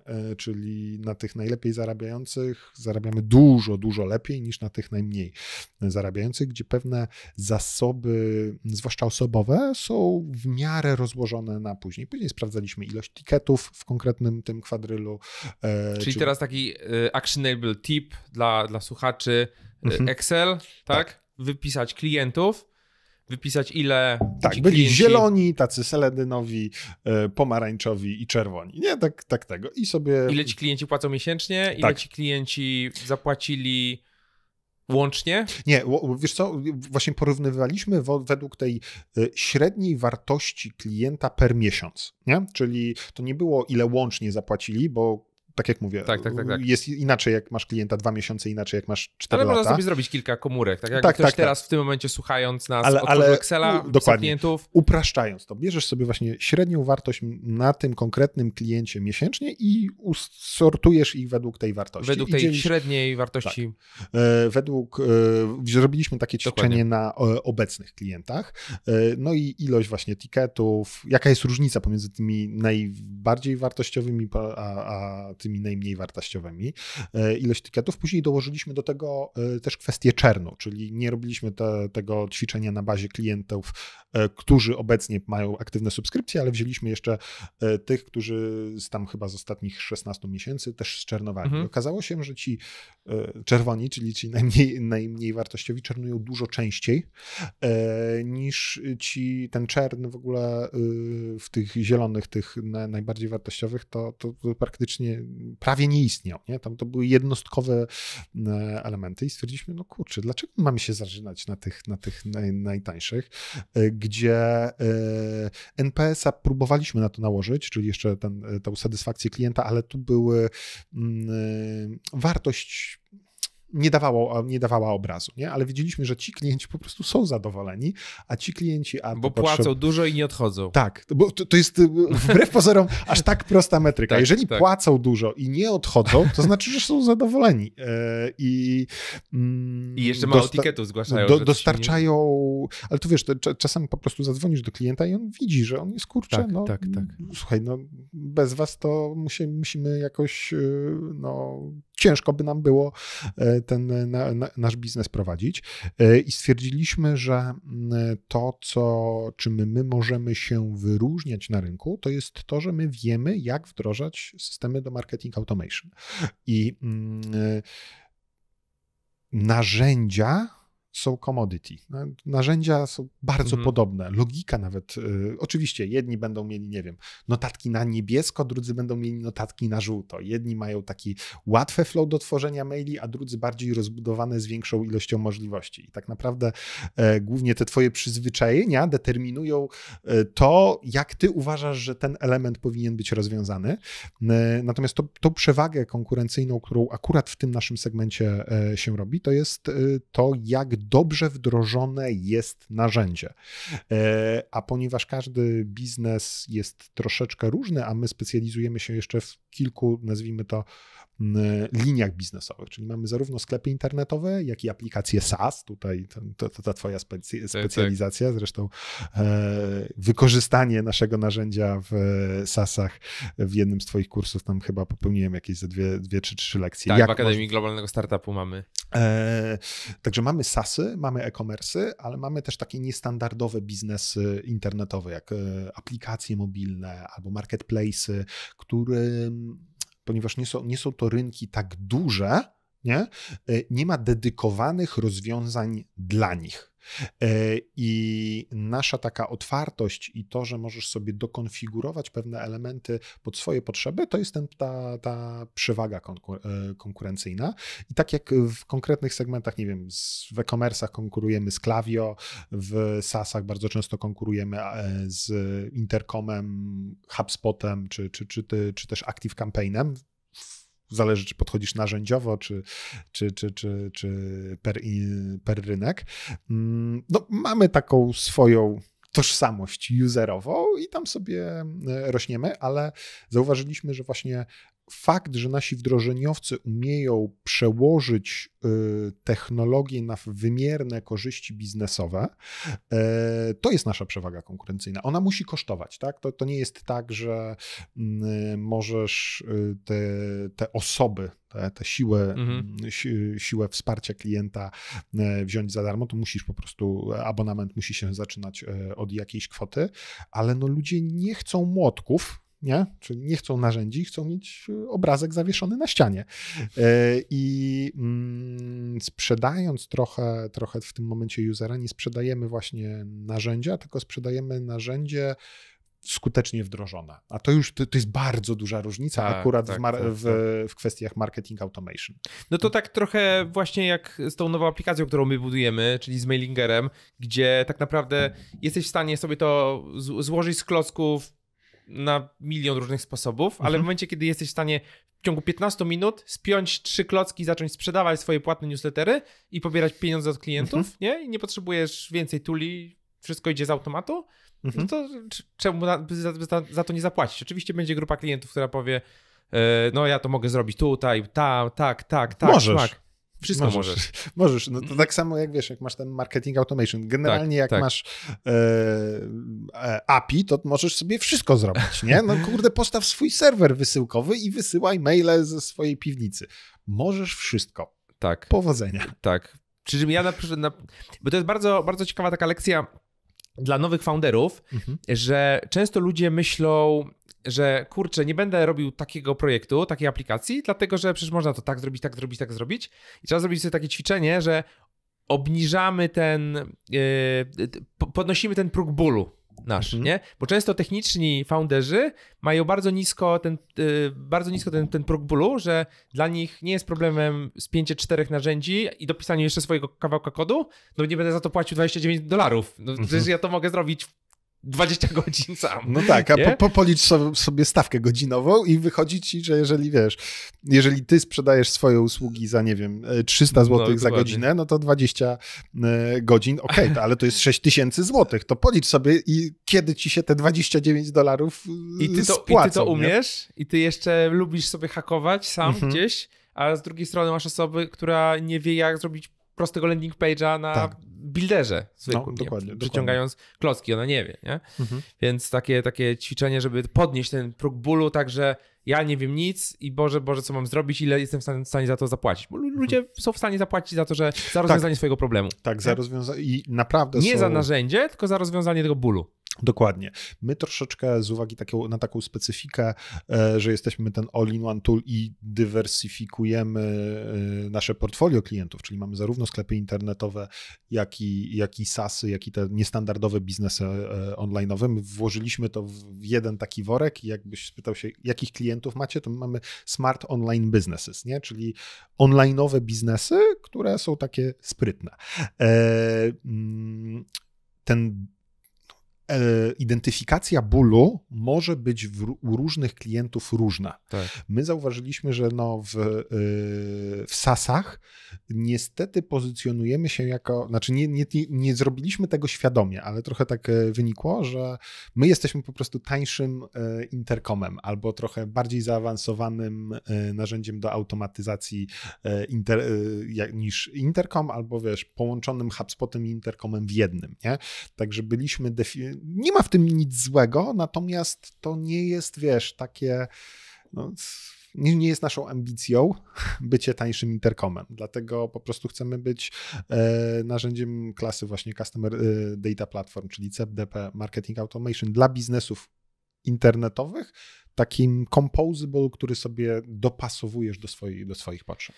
Yy, teraz taka runda pytań o społeczności, bo planuję, mam taki projekt, e, żeby przeprowadzić takie krótkie wywiady ze wszystkimi founderami sasowymi w Polsce i zadać im te same, powiedzmy, 10 pytań. Właśnie zapytałem ostatnio na, na mojej grupie twórcy aplikacji SaaS, do której serdecznie zapraszam, otwarta grupa na Facebooku. E, zadałem pytanie, co byście chcieli wiedzieć, jakie pytania byście zadali, jeżeli mamy tych mhm. 10, zebrać 10 takich pytań. Mam kilka takich pytań do ciebie, więc pytanie, pytanie pierwsze, po co ten stały startup? Nie łatwiej iść do korpo za, za dobrą kasę? Łatwiej. I, i za lepszą. To po, po ten cały startup. To, łatwiej nie znaczy fajniej. Mm, no bo wiesz co, no ja realizuję swoje marzenia. Dla mnie praca w e, technologii i marketingu to jest coś. Ja nie wyobrażam sobie troszeczkę, że mógłbym robić co innego.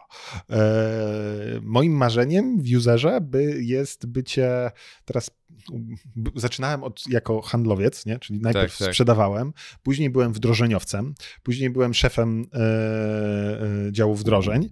E, teraz e, przez ostatni rok byłem trochę CMO, czyli byłem szefem marketingu.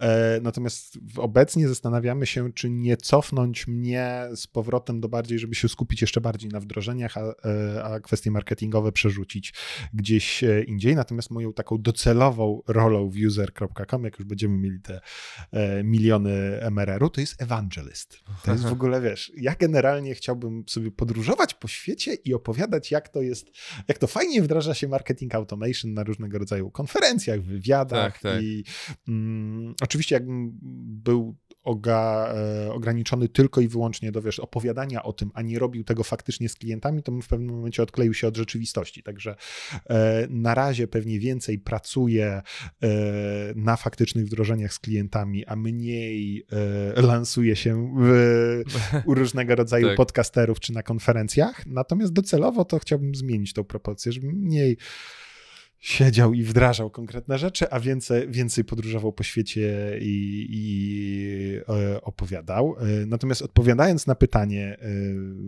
czy nie łatwiej jest w korporacji? Łatwiej jest w korporacji i w, pod kątem finansowym jest zdecydowanie lepiej w korporacji. To żeby, było, żeby była jasność. Jak chcesz dobrze zarabiać, to nie idź do startupu. Natomiast jak chcesz. No e, chyba, że jesteś e, programistą, tak, idziesz do startupu, ale... który zgarnął rundę, wiesz, 40 milionów i. Nadal, nadal wydaje mi się, że w Microsoftie zarobisz lepiej niż w jakimś tam mm. rundzie e, w startupie po, po, po tej okay. pierwszej czy, czy, czy, czy drugiej rundzie. Już w takich startupach, które wiesz, ściągają, nie wiem, D-Rand na poziomie no tak. 400 milionów, to dla mnie to już są korporacje, nie? No tak, Także tak, to, tak. To, to, to, tutaj ciężko wy, znaleźć, zwłaszcza, że korporacje stały się też takie bardziej y, elastyczne, ale to są już, ja, ja nazywam te firmy raczej scale-upami mhm. niż startupami. Natomiast w startupie zdecydowanie nie zarobisz najlepiej. E, i z, Szczególnie jako founder, co-founder. Oj, w ogóle to, to już zapomnij. E, natomiast no jest fan, nie? Jest, jest satysfakcja pewna, że kurczę, no kiedyś, wow, no w ogóle ten poziom MRR-u, czy ten poziom klientów to w ogóle był jakiś kosmos. Teraz tak no, no, no słabo, nie? Idzie, słabo nam idzie, gdzie wiem, jak, jak idzie innym i, i nie idzie nam tak strasznie, strasznie słabo, e, bo cały czas rośniemy, może nie w takim tempie, jakbyśmy chcieli, ale, ale jednak to jest cały czas e, do przodu. E, no, dla satysfakcji mi się wydaje. No to, Dlaczego? no to kontynuując, kontynuując to pytanie, yy, drugie, trochę podobne. Ile razy byłeś o krok od upadku poddania się? Czy miałeś takie w ogóle sytuacje? Wiesz co, to... to... Możesz mówić, śmiało. W userze nie. Ja w userze nie byłem w ogóle e, od yy, poddania się. Nie, w, w, ogóle mm, nie przychodziło mi to do głowy, natomiast ja mam o tyle y, komfortową sytuację, że ja w, w userze jestem ko founderem. No tak, tak, e, tak. Nie jestem też CEO. E, w iWisherze to tam, wiesz, rzucałem tam parę razy, aż w końcu rzuciłem to w diabły, e, bo, bo jednak CEO, co-founder, znaczy CEO, founder główny ma dużo, dużo większy poziom stresu, dużo większy poziom odpowiedzialności. Znaczy, nie jest tak, że ja się czuję nieodpowiedzialny za naszych tak, pracowników, czy coś tak, takiego. Tak. Natomiast wyobrażam sobie, że, że Greg ma no dużo, dużo większy poziom tej, e, tego stresu i on pewnie wielokrotnie tak już by chciał to rzucić. E, I no jak się decydujesz y, na, na założenie startupu, to, to tak, to musisz sobie jasno zdefiniować, że to, e, że takie chwile się pojawią, tak? One, one są oczywistością, że, że one będą. Nie czy będą, tylko kiedy będą i i też musisz jasno zdecydować, y, jaki jest ten y, twój próg bólu, no bo zabawa w startupy to raczej zabawa dla tych wytrzymałych, nie? No to, to maraton, a nie sprint, o tak. No tak, ale trzeba zacząć, żeby po tym pierwszym, drugim, trzecim mniej, uwalonym projekcie poszło coś, Mniej co... planowania, więcej robienia. Tak, to, to, to tak. tak. jest y, w ten sposób. Właściwie tak doszedłem do, do, do wniosku, że jest bardzo dużo metod walidacji pomysłu, yy, rozmów z klientami i tak dalej, i tak dalej, a tak naprawdę no, nie zwalidujesz do końca, jak nie ma produktu. Wiesz co, yy, ja doszedłem do wniosku, że to wcale nie jest takie skomplikowane, bo żeby odnieść sukces, to musisz mieć spełnione dwa warunki. Ale teraz uwaga, słuchajcie, słuchajcie. Tak, ale to jest, to jest naprawdę na bardzo proste. E, Tomek Karwatka mi to, to, znaczy trochę podkradłem to od e, Tomka Karwatki, a potem o tym e, długo myślałem i to jest faktycznie ten, ten, ten w punkt, że albo musisz być 10 razy lepszy od rozwiązań, które są na rynku, albo musisz być nowy na rynku.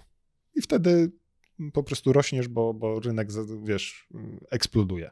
I to są te dwa de facto y, elementy, które determinują, czy odniesiesz sukces, czy nie. Czyli albo jesteś 10 razy lepszy niż obecne rozwiązanie, albo jesteś jako pierwszy na danym rodzącym się ryneczku. I to jest, i wtedy na pewno osiągniesz sukces. Inaczej, e, i to, to są te faktyczne startupy, które skalują się, wiesz, razy 10 e, e, na samym początku, a później 3, 3, 2, jak już masz te, mhm. jakiś poziom przychodów taki, taki sensowniejszy, nie? I mi się wydaje, że, że, że, że, że to jest aż tak proste. Jak nie jesteś pierwszy na rynku, albo nie jesteś na takim e, bardzo rosnącym, e, wschodzącym rynku, e, i nie jesteś 10 razy lepszy, to pewnie będziesz miał, możesz mieć dobrą firmę, w rozumieniu, że możesz rosnąć razy dwa rok do roku, razy trzy, czy tam razy 50% i też odnieść e, sukces, być nie wiem, rentownym, e, móc sobie pojechać na fajne wakacje. E, natomiast jeżeli chcesz odnieść ten spektakularny sukces na rynku startupów, to musisz spełnić te dwie rzeczy. Te dwie rzeczy. No. no. właśnie, bo jeżeli jesteś, wchodzisz na ten rynek już dojrzały, mhm. nie, musisz być naprawdę sporo lepszy, albo sporo tańszy, alternatywny i tak dalej. Tu jest trudno, Mhm. No, najlepiej jest wejść właśnie w ten trend wzrost, yy, rosnący, no i no, musisz mieć jakieś, wiesz, no, zaufanie do tego, że to będzie rosło. Pewnie mhm. się możesz sparzyć. No, znaczy dużej... musisz być też sprawny biznesowo, to tak, żeby, tak. żeby była I jasność. musisz być szybki. Musisz być szybki i wtedy, jeżeli faktycznie robisz coś nowego, co, czego jest bardzo mało na rynku, no to możesz mieć nawet średniej jakości narzędzie. Tak. I może być drogie jeszcze. Nie ma problemu. A ludzie i tak będą płacić za to. Dokładnie. Więc trzeba analizować te trendy. Więc tip, tip ode mnie, zapraszam właśnie do Sasletera, w którym będziemy analizować trendy. Jeżeli hmm. Michał będziesz widział jakieś trendy, to dawaj mi znać. Ja to umyś, umieszczę, umieszczę, umieszczę w Sasletterze. Wiesz co, tak, Kolejnym. możemy teraz pogadać o tych trendach. Ja, no, ja, dobra, ja, no. ja tak y, z tych Chętnie. trendów, które widzę w y, Martechu, czy mhm. szeroko roz, rozumianym e, elemencie mm, do tworzenia oprogramowania, komunikacyjnego, marketingowo-sprzedażowego, obsługowego, e, no to jest e, mm, API First, czyli generalnie tworzysz narzędzie, które w ogóle wchodzi i jest API first, nie? Tam, tam kurczę, GUI jest, ale po cholerę masz się tam logować. To tam w GUI to, to, to klucz wygeneruje API i tyle, nie? E, albo no-code, low-code, nie? Czyli e, ok, już jak wchodzisz, to nie musisz być programistą, natomiast dobrze, żebyś e, rozumiał, co to jest zmienna, jak sformułować właśnie jakiegoś SQL-a, tak jakby mm, narzędzia, z których programiści, tacy hardkodowi Linuxowcy będą mówić, że e, co to w ogóle za, za, wymysł, nie? Natomiast tacy niedoszli e, hardkorowi programiści będą widzieć dużą e, przewagę, że mają takie, wiesz, układanie z klocków, nie? No dobrym przykładem jest Retool, który po prostu wystrzelił. Kosmos, tak? nie? To, to Retool jest, e, ale fantastyczne narzędzie, no nie wiem, bawiłeś się, no kosmos, nie? Rzecz, która tak. kiedyś e, wymagała, to, jak dla mnie, to jest jak kiedyś stworzyłbyś makiety, żeby później, wiesz, nałożyć na to designy, żeby później stworzyć jakąś specyfikację, którą, e, do którego IT dorobi e, działający backend, to tutaj na etapie tworzenia makiet, które są już takie high fidelity, bo to jest ładne po prostu, -hmm. dobrze ostylowane, tak, tak. tworzysz działające narzędzie, nie? Czyli, czyli tych etapów, które są pod spodem później, już nie będzie, bo to, to po prostu no tutaj taka tabelka, tutaj taka tabelka, tu takie query, to jak to odpytuje się tej tablicy, to odpytuje się tej tablicy, a tutaj masz wykresik, czy te dane, do, do których e, potrzebujesz. I tak de facto nie potrzebujesz żadnego e, działu IT, jeżeli podstawy tego programowania, czy podstawy takiej matematyki, nazwijmy to, bo to też programowanie, jak umiesz makra na, na Excelu, to nie jesteś programistą, ale Masz logikę bazodanową. Znaczy nie? wiesz, w mojej, w mojej ocenie te narzędzia no-codowe, low-codowe i tak w dużej mierze będą wykorzystywane przez programistów, żeby Dokładnie. zrobić rzeczy szybciej. Dokładnie. Słuchałem wywiadu, podcastu z founderem Ritula mhm. i on mówił, że, bo tak jak mówisz, że hardkorowi programiści powiedzmy mogą wyśmiać, powiedzieć, że to, to nie jest dla nich. Okazuje się, że często oni yy, używają właśnie Ritula, bo Ritul jest zrobiony, żeby budować te internal toole, wewnętrzne narzędzia w organizacji. Mhm. I często taki programista, który siedzi w jakichś ciekawych rzeczach, dostaje zadanie, zbuduj nam internal toola takiego. I on mu się tego nie chce robić. Mhm. I on wykorzysta to narzędzie, żeby zrobić to szybciej, tam o 50% szybciej, żeby wrócić do tych ciekawych, hardkorowych rzeczy. Mhm. Więc nawet ci ludzie... Low poziomowych. Tak, i, i, i, tak to, i tak to działa, nie? Tak właśnie ten founder mówił, że, że tak, to, tak to działa. I to jest bardzo ciekawe, bo oni urośli, oni się też bootstrapowali, teraz wzięli finansowanie. I, jakieś wiem, kosmiczne. Jakieś kosmiczne 40-50 milionów i on mówił wtedy, że nie wiem, to może... jedna z... osoba chyba tworzyła w ogóle taki... Dwie, dwie. dwie no. e, I on mówił, że nam wydali, nie wiem, ze 100-200 tysięcy, na razie sobie trzymają, bo, bo wiesz, no są rentowni, kasa płynie po prostu.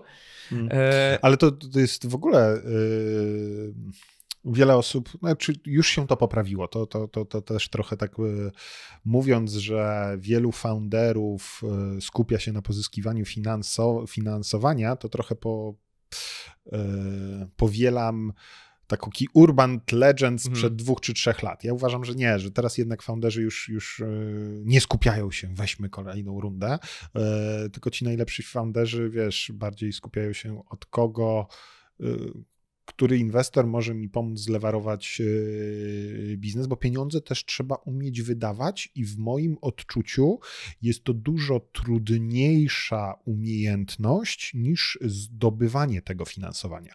Czyli dużo łatwiej w moim odczuciu jest pozyskać to finansowanie mm. niż sensownie e, z, mm, tak jakby zrobić użytek z tego finansowania, czy to na development produktu, czy to na e, wzrost skali sprzedaży marketingu, e, żeby wziąć kolejną rundę czy coś takiego. Także pieniądze też trzeba umieć wydawać. E, I to jest, wydaje mi się, dużo trudniejsza umiejętność niż, niż e, pozyskiwanie tego finansowania. No tak, no bo pieniądze, masz wydawać pieniądze i nagle możesz zrobić każdy feature. Nie musisz się mm, ograniczać do tak, jednego, nie? No dobra, no do który? No wszystko. Zatrudniamy no. ludzi. Tak, Chaos, tak. upadek. Nie, nie, nie, to, to w, w, moim odczuciu my wzięliśmy, no też jeszcze jest kwestia tego, od kogo bierzesz pieniądze, nie? Bo jeżeli... Od kogo wzięliście pieniądze? My wzięliśmy, y, w nas zainwestowała spółka Vercom, obecnie y, spółka notowana na giełdzie, jak w nas inwestowali, to, to, to jeszcze nie... Y, Czyli nie VC, zupełnie nie, nie, nie, nie, nie, inny... nie VC. Czemu w was zainwestowali? To znaczy... Szukali inwestycji w startupy, czy... Wiesz co, e, nie, szukali inwestycji w, w dobre firmy i e, sensownych, e, sensownych ludzi na pokładzie i mm, VC Dlaczego może? Dlaczego Vercom? Vercom jest w ogóle fantastycznym, fantastycznym inwestorem, fantastyczną spółką. Natomiast to jest inwestor branżowy. Nie? To nie jest klasyczny VC i on wymaga na, znaczy nie wymaga na nas, ale ma takie podejście zbudowania rentownego biznesu, a nie e, zbudowania jakiegoś tam unicorna, dekakorna czy coś takiego. No, dla, dla Krzysztofa Szyszki, czyli głównego zarządzającego, wiesz, w Werkomie, no, HubSpot nie jest benchmarkiem. HubSpot przez tyle lat oni tracili pieniądze, a nie zarabiali tak, pieniądze, tak. nie? A on woli zarabiać pieniądze. E, także e, my zdecydowaliśmy się e, na Werkom z uwagi trochę na to, że nie chcieliśmy być przymuszeni, bo jak wchodzisz na, nazwijmy to ścieżkę VC, no to już jesteś na tej ścieżce VC, czyli pozyskujesz jedną rundę, ale tą rundę musisz bardzo szybko wydać, żeby pozyskać kolejną rundę, kolejną rundę i kolejną rundę i tak naprawdę wiesz, yy, może kiedyś wkroczymy na tą, na tą e, ścieżkę, jeszcze nigdy nic nie wiadomo, nie? Niektóre, niektóre spółki po nawet 10-15 latach decydują się na rundę finansowania, żeby, żeby, żeby wyskalować. E, natomiast my zdecydowaliśmy się, e, trochę chemia zagrała, będąc szczerym. Mhm. To, to, to, to było tak, że spotkaliśmy się i oni chcą budować, jak pozyskują klienta, to nie pozyskują klienta po to, żeby nie wiem, dojść za dwa, tysio- za, za dwa lata powiększyć biznes razy 8, tylko żeby ten klient był 10 lat z nami. To jest troszeczkę inna perspektywa czasu, w, jakiej, w, jakiej, w jakich kategoriach myślisz. E, no i, no i też kwestia branżowości, czyli wiesz, e, bycie fakt, faktem bycia w grupie, e, w której jest czy Vercom, czy Redlink. My nigdy nie chcieliśmy konkurować na końcówki, czyli nie chcieliśmy być, wiesz, konkurować, nie wiem, dostarczalnością maili, czy albo ceną za SMS-a, mhm. bo to bardzo często jest tym elementem, w którym, którym konkurujesz i my to ogrywamy jakby spółkami z grupy, czyli my maile de facto pod spodem wysyłamy przez e-mail appsa, a de facto SMS-y, czy przez Redlinka, czy przez serwer SMS, które są wszystkie, wszystkie w tej grupie. E, w tej grupie no właśnie, tak kojarzyłem tą firmę z, z tego Redlinka. To jest Redlink, e-mail labs, y, serwer SMS, e, AppChance, także trochę, trochę tych spółek jest. To jest taki konglomerat, bo jest Vercom, jest R22, jest H88, czyli jest e, oddział taki sasowy mhm. tych firm, które e, opowiedziałem, ale jest też oddział E, hostingowy, czyli e, CyberFolks, wcześniej Linux.pl, e, domeny.pl, Key, w ogóle to jest. Coś tam mamy nawet. To jest, to jest, to jest, to jest jeden. A powiedz mi, właśnie, bo jak się pojawił ten inwestor, to też chyba to był moment zmiany nazwy z user engage na user.com. No i jaka ta historia tej domeny?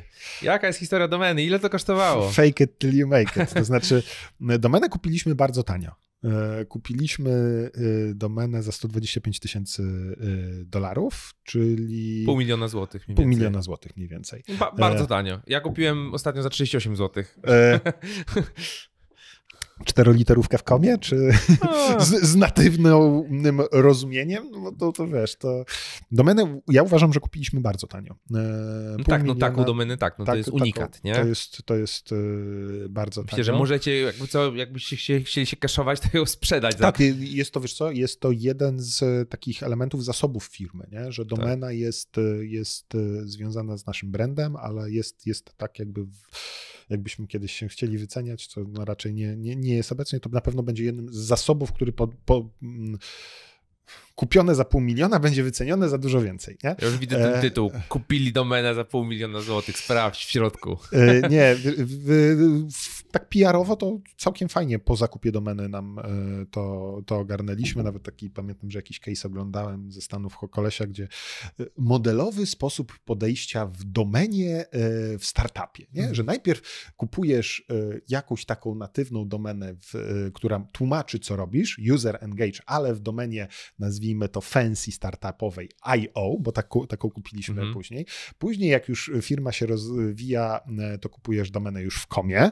No i faktycznie userengage.com to jest e, też domena, za którą zapłaciliśmy z tego, co pamiętam, 30 tysięcy złotych, także też całkiem, całkiem e, no, większe pieniądze niż w, w, u prowajderów. A następnie wskoczyliśmy na, na, na, na już taką high level czyli e, user.com, e, Greg zaczął negocjować tą cenę tak e, z głupia frana, jak to się mówi, nie? Czyli a tam wiesz.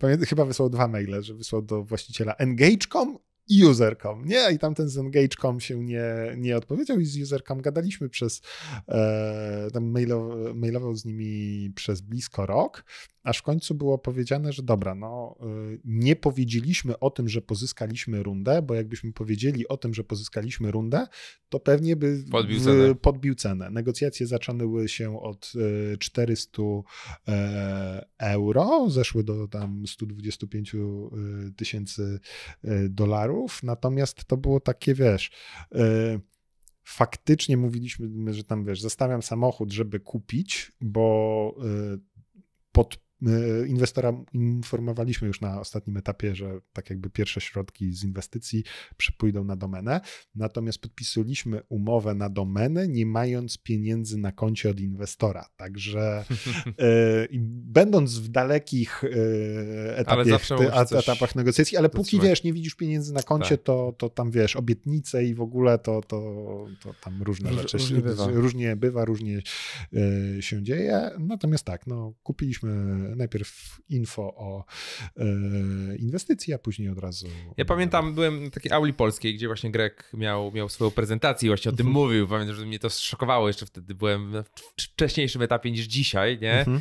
Gdzie, gdzie 100 tysięcy to mnie szokowało, nie? E, takie, takie kwoty za, za domeny były dla mnie wtedy dosyć, dosyć niepojęte. Znaczy wiesz, no dużo, ale tak jak sobie zastanowisz się albo przejrzysz sobie, wiesz, ile, e, ile warte są spółki albo po jakich wycenach chodzą, nie? To, to nie jest tak strasznie dużo, nie? To czteroliterówka w komie, te 400 tysięcy e, euro, od którego zaczęliśmy negocjacje cenowe, które było takie No tak, czyli wyjściem, prawie 2 miliony. Prawie 2 miliony, ja sobie wyobrażam, że ktoś mógł za tą cenę kupić tą domenę.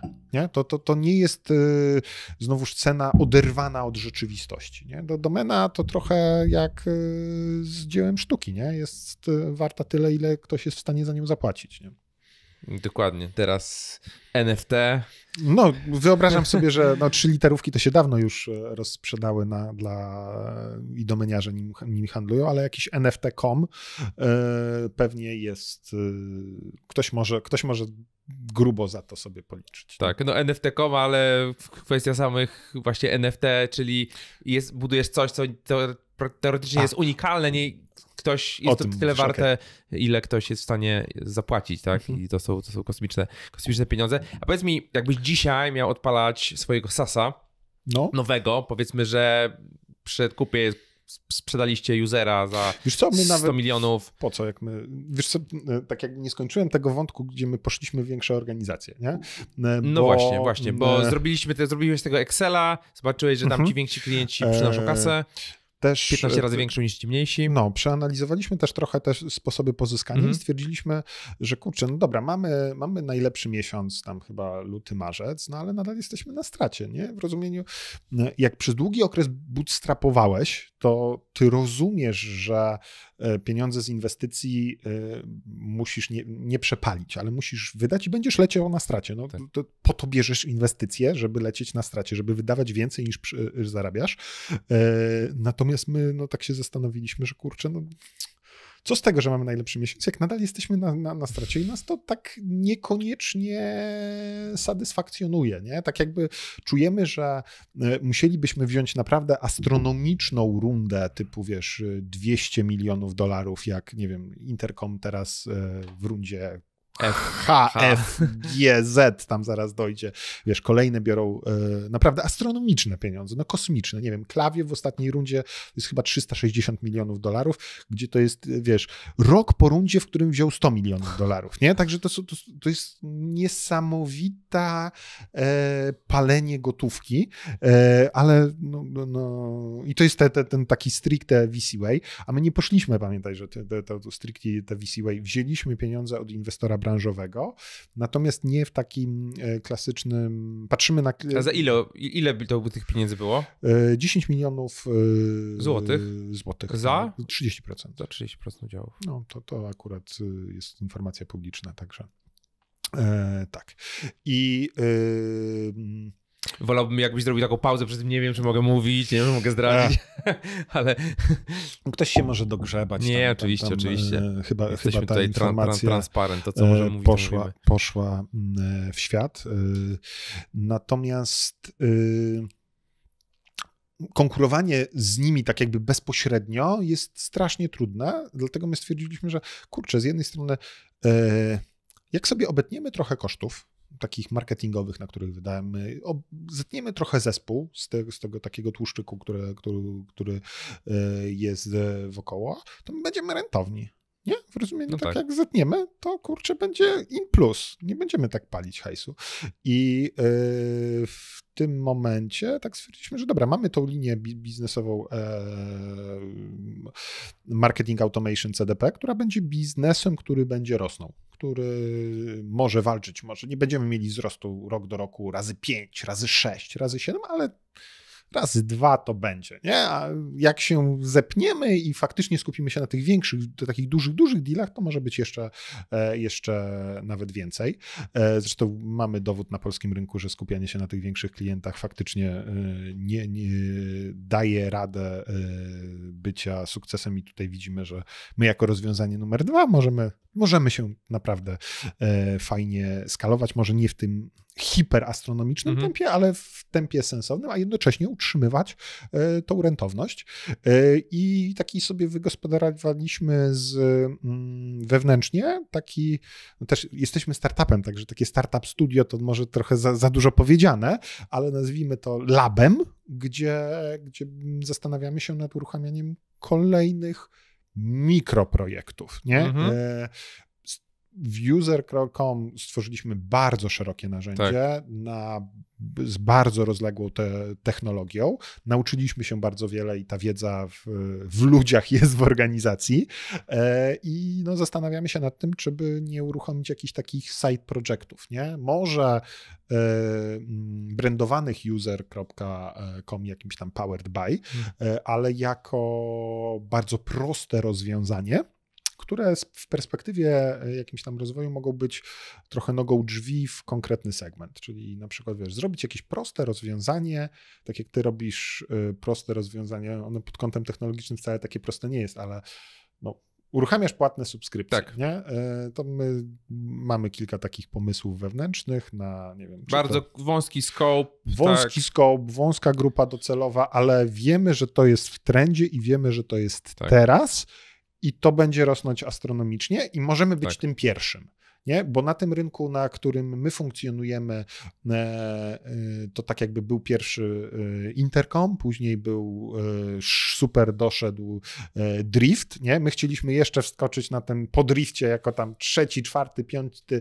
Nie udało nam się tak wskoczyć i teraz pływamy po czerwonym oceanie. Mm, nie? I z no Active tak. Campaignem czy z HubSpotem oczywiście my chcemy konkurować i konkurujemy, i wielu klientów przechodzi do nas y, z tego, y, z tych narzędzi. Natomiast to jest cały czas taki, wiesz, Dawid i Goliat, nie? To jest. Y, tak, szczególnie, że to działa też tak, że wiesz, masz jakiegoś influencera, który mówi, że on z tego korzysta, on ma, wiesz, kilka tysięcy mhm. swoich klientów, którzy patrzą i robią dokładnie to, co on. Znaczy, są, są firmy, które bez finansowania zewnętrznego e, na bazie alternatyw tu zrobiły mega biznes ConvertKit, nie? No tak, słuchaj, to, tak. to był e, alternatyw to MailChimp i oni tak. po prostu na tym wy, e, złapali, że kurczę, w MailChimpie wkurza ich, że te zarządzanie przez listy jest bezsensowne i lepiej, żeby mieć użytkownika w danych listach niż listy i nie wiesz, czy on jest w tych e, kilku. To był, to był ten jeden główny element, który wkurzał w MailChimpie. Nie? E, że każdy formularz musi być pod oddzielną e, listę, a nie możesz mieć kilku formularzy no, no nieważne. No, tak, już, tak, no już... i że, że, dla twórców, że... Tak, y, ale zawęzili to, no i wystrzelili niesamowicie, bez, bez zewnętrznego finansowania. Ja jestem e, w ogóle tak, gorącym Tak, obser obserwuję Nathana Berry'ego. No, ko ConvertKit jest niesamowitym biznesem, nie? E, natomiast no, my jako CDP Marketing Automation no, pływamy na bardzo e, rosnącym torcie, ale na bardzo czerwonym oceanie, mocno konkurencyjnym i tutaj widzimy, że po prostu tą przewagę konkurencyjną, którą możemy zrobić, to jest e, jakość wdrożeń i bycie takim composable, że my się wpinamy tak. tak. naprawdę w każdy ekosystem, mówiąc, że ten API first, ale też bardzo często mówiąc, e, że nie, to do tego to weź sobie inne rozwiązanie. Nie? Tak, e, to mnie zdziwiło, bo w, konkurujemy obecnie w przetargach e, do różnych dużych podmiotów. E, I no dobra, ale czy macie search, nie? E, pod e-commerce'a, czyli rekomendacje produktowe mhm. mamy, rekomendacje produktowe on-site'owo w każdym kanale komunikacji, ale czy macie w searchu? Robiliśmy do tego research, robiliśmy do tego analizę i to jest tak szeroki zakres, tak skomplikowany technologicznie element, że nawet jak te rekomendacje e, dobrze ograsz, to, to, to kwestia, żeby ten search był tak jak w Google, że piszesz i od razu się to zrobi. Ta szybkość e, dostarczenia tej informacji jest totalnie innym wyzwaniem e, technologicznym niż ten, z którym my się teraz z, zmagamy, czyli wiesz, przyjęcie setek milionów, tysięcy mm, page hitów czy eventów w, jednej sekundzie, nie? różnego rodzaju e, piki. Stwierdziliśmy, że nie, nie idziemy w search, bo byśmy musieli uruchomić drugą, kolejną spółkę, a i tak do Algoli czy do e, rozwiązań z takich dużych graczy jak, jak Azure, jak e, Google Cloud, no nie dogonimy ich, nie? Także, także lepiej nie, nie wchodzić w te rzeczy i my mówimy, że słuchaj, analityka, ok, u nas będziesz miał podstawowe wykresy, podstawowe dane, natomiast jak chcesz system analityczny, to weź z nas dane i wrzuć je do systemu analitycznego. Tylko do analitycznego. I widzę, że tak jakby liderzy rynku już to zrozumieli, mhm. że nie ma all-in-one tool, które rozwiąże ci wszelkie e, mm, problemy. E, pójście w taką platformę znowuż, jak, jak, jakim, jaką zbudował się, nie wiem, Salesforce jest platformą, on bazuje tak. na wtyczkach, ale i HubSpot jest platformą, y, która bazuje na wtyczkach.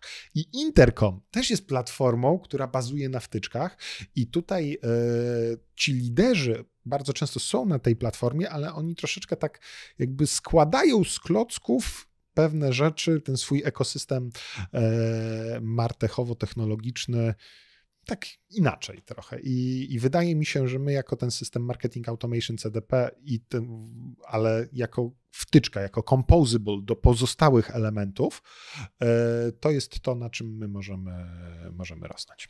No dobra, powiedziałeś, że planujecie jakieś takie mikroprojekty. Tak. Chciałem wrócić do tego, jak ty, wielu, wiele osób, y, które nas słucha, są na początku swojej drogi, gdzieś tam zaczynają albo mają już swoje produkty, mhm. pierwszych klientów, albo są na etapie pomysłu, weryfikacji, budowy rozwiązań, myślą, gdzie tu wejść, żeby to miało sens.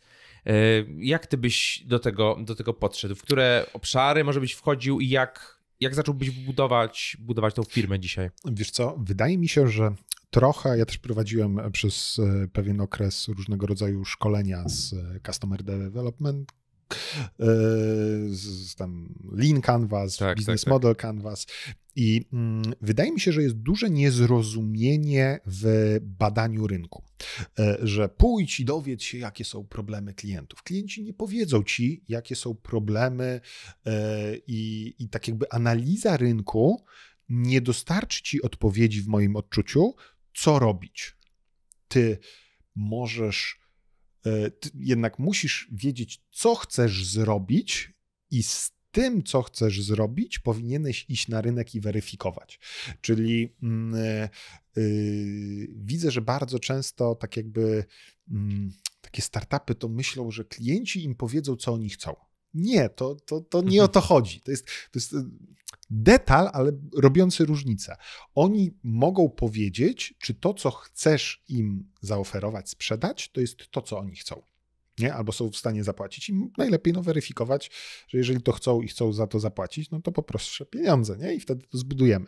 E, albo po prostu zwrócimy ci pieniądze, e, jeżeli tego mamy totalnie niezbudowane i tylko robiliśmy jakiś landing page. E, mm, natomiast tak, no, musisz wiedzieć do końca, tak jakby mieć jakiś pomysł, ten, ten zalążek, e, to ziarno, e, które zobaczymy, jak wykiełkuje, zobaczymy, co z tego się urodzi, i to powinieneś jak najszybciej konfrontować z rynkiem, jak najszybciej konfrontować z grupą docelową, czyli pokazywać, no nie wiem, ten napkin sketch, czy to ma sens? Nie, nie ma. Aha, do śmieci. A czy to ma sens? Nie, nie ma. Aha, to do śmieci. Czy to ma sens? A wytłumacz mi. No to to będzie działać tak i tak i dostaniesz to i to. No dobra, ale to jak to dostanę? Nie? Że jak, jak, mhm. e, I w ten sposób weryfikujesz e, kolejne, nazwijmy to, iteracje tego, co chcesz de facto zrobić na końcu. E, natomiast takie badanie dla badania rynku, wiesz, zróbmy badanie fokusowe, bo wiemy, że teraz, nie wiem, rynek e-commerce'owy urósł, to zróbmy jakieś narzędzie dla e-commerce'u, ale nie wiadomo jakie, to, to nie jest droga właściwa. Słuchajcie, wydaje mi się, że to by było fajne, z, zróbmy to, ale nie róbmy tego na zasadzie takiej, że dobra, zamykamy się na pół roku i kodzimy, nie? Tylko dobra, to zróbmy to, to postawmy landing, zróbmy, nie wiem, ofertę, zróbmy prezentację PowerPoint i pójdźmy do grupy docelowej, spróbując, spróbujmy im to sprzedać, czy oni widzą w tym wartość, czy nie. Mm, także no to, to takie są moje przemyślenia. No jednak musisz no dobra, mieć to pomysł. Załóżmy, załóżmy, że już mamy to, to ten pomysł, robić mówi, że kurde, to jest, to jest spoko, mamy tego PowerPointa, jakieś, jakieś szkice i co byś, co byś dalej zaczął robić? Szukałbyś w co-founderach, robiłbyś to sam, szukałbyś, nie wiem, programisty, wrzucałbyś własny kapitał, szukałbyś, przedbyś do inwestora. Tak z twojej perspektywy, nie? To nie musi być to e, zależy. Rada, wiesz, u, dla każdego. Co, co, co, co ty byś zrobił? Ulubione, e, ulubiona odpowiedź, która tak. nic nie wnosi, to zależy. E, no, wszystko zależy. No, dokładnie. Wiesz co, to, co my robimy, to, to jest, my idziemy z tym pomysłem po prostu do, na rynek, nie? Czyli łapiemy sobie, e, nie wiem, jeżeli to są sklepy na Shopify'u, no to łapiemy sobie y, właścicieli sklepów, sklepów na Shopify'u i rozmawiamy z nimi. Nie? To, jest, to jest po prostu ten, ten element. My obecnie mamy o tyle privilege, tak, o tyle taką komfortową tak, tak. sytuację, tak. że no mamy pieniądze na koncie, tak. mamy zasoby technologiczne, mamy pewien background marketingowo technologiczno-sprzedażowy wewnątrz organizacji. W sensie, w sensie mamy zdolnych ludzi po prostu w, w zespole i mamy te zasoby, którymi możemy e, operować. Także trochę ciężko mi. E, ja, się te, ja też nie, nie... Ciężko się wejść w buty takiego foundera, który nie ma tego wszystkiego. Nie, nie, ma tego zasobu. Dlatego ja tak mówię, że to jest w ogóle najbardziej komfortowa sytuacja, w, jakim, w jakiej yy, mógłbym się postawić. Jestem super szczęśliwym człowiekiem. No posłuchaj, no, wiesz, zarabiam sensownie, tak? Rozwijam się w branży, w której e, zawsze chciałem się rozwijać. Robię fajne rzeczy e, z tymi większymi klientami, którzy robią e, użycie z naszej technologii, w ogóle też mamy super relacje. Wszystko jest tak jakby super. Oczywiście, wiesz, chciałbym rosnąć, nie wiem, gdzieś pięć razy szybciej niż, niż rośniemy. A nie no sądzisz, że taka chora ambicja, to, to, to, to, to, że, to, że masz tą komfortową sytuację, to zabiera ci taki trochę głód tego, tego Nie, bo Grek tego... jest zawsze głodny. Aha, to znaczy, tak? to jest, wiesz, wiesz co, tu jest taka sytuacja, że ja jestem bardzo szczęśliwy z tego, co mam, a on jest nigdy never sadys... E, nie, nigdy us usatysfakcjonowany z tego, gdzie, e, tak. na którym elemencie jest. Nie? To jest w ogóle takie zderzenie yin-yang. My zupełnie inaczej postrzegamy pewne rzeczy. On uważa, że, wiesz, że, że to jest w ogóle porażka, masakra. I mówię, słuchaj, no ale popatrz, to, to rośnie w ten sposób. Gdzie ty tu widzisz kuźwa porażkę? No, ale spójrz na konwertki ten.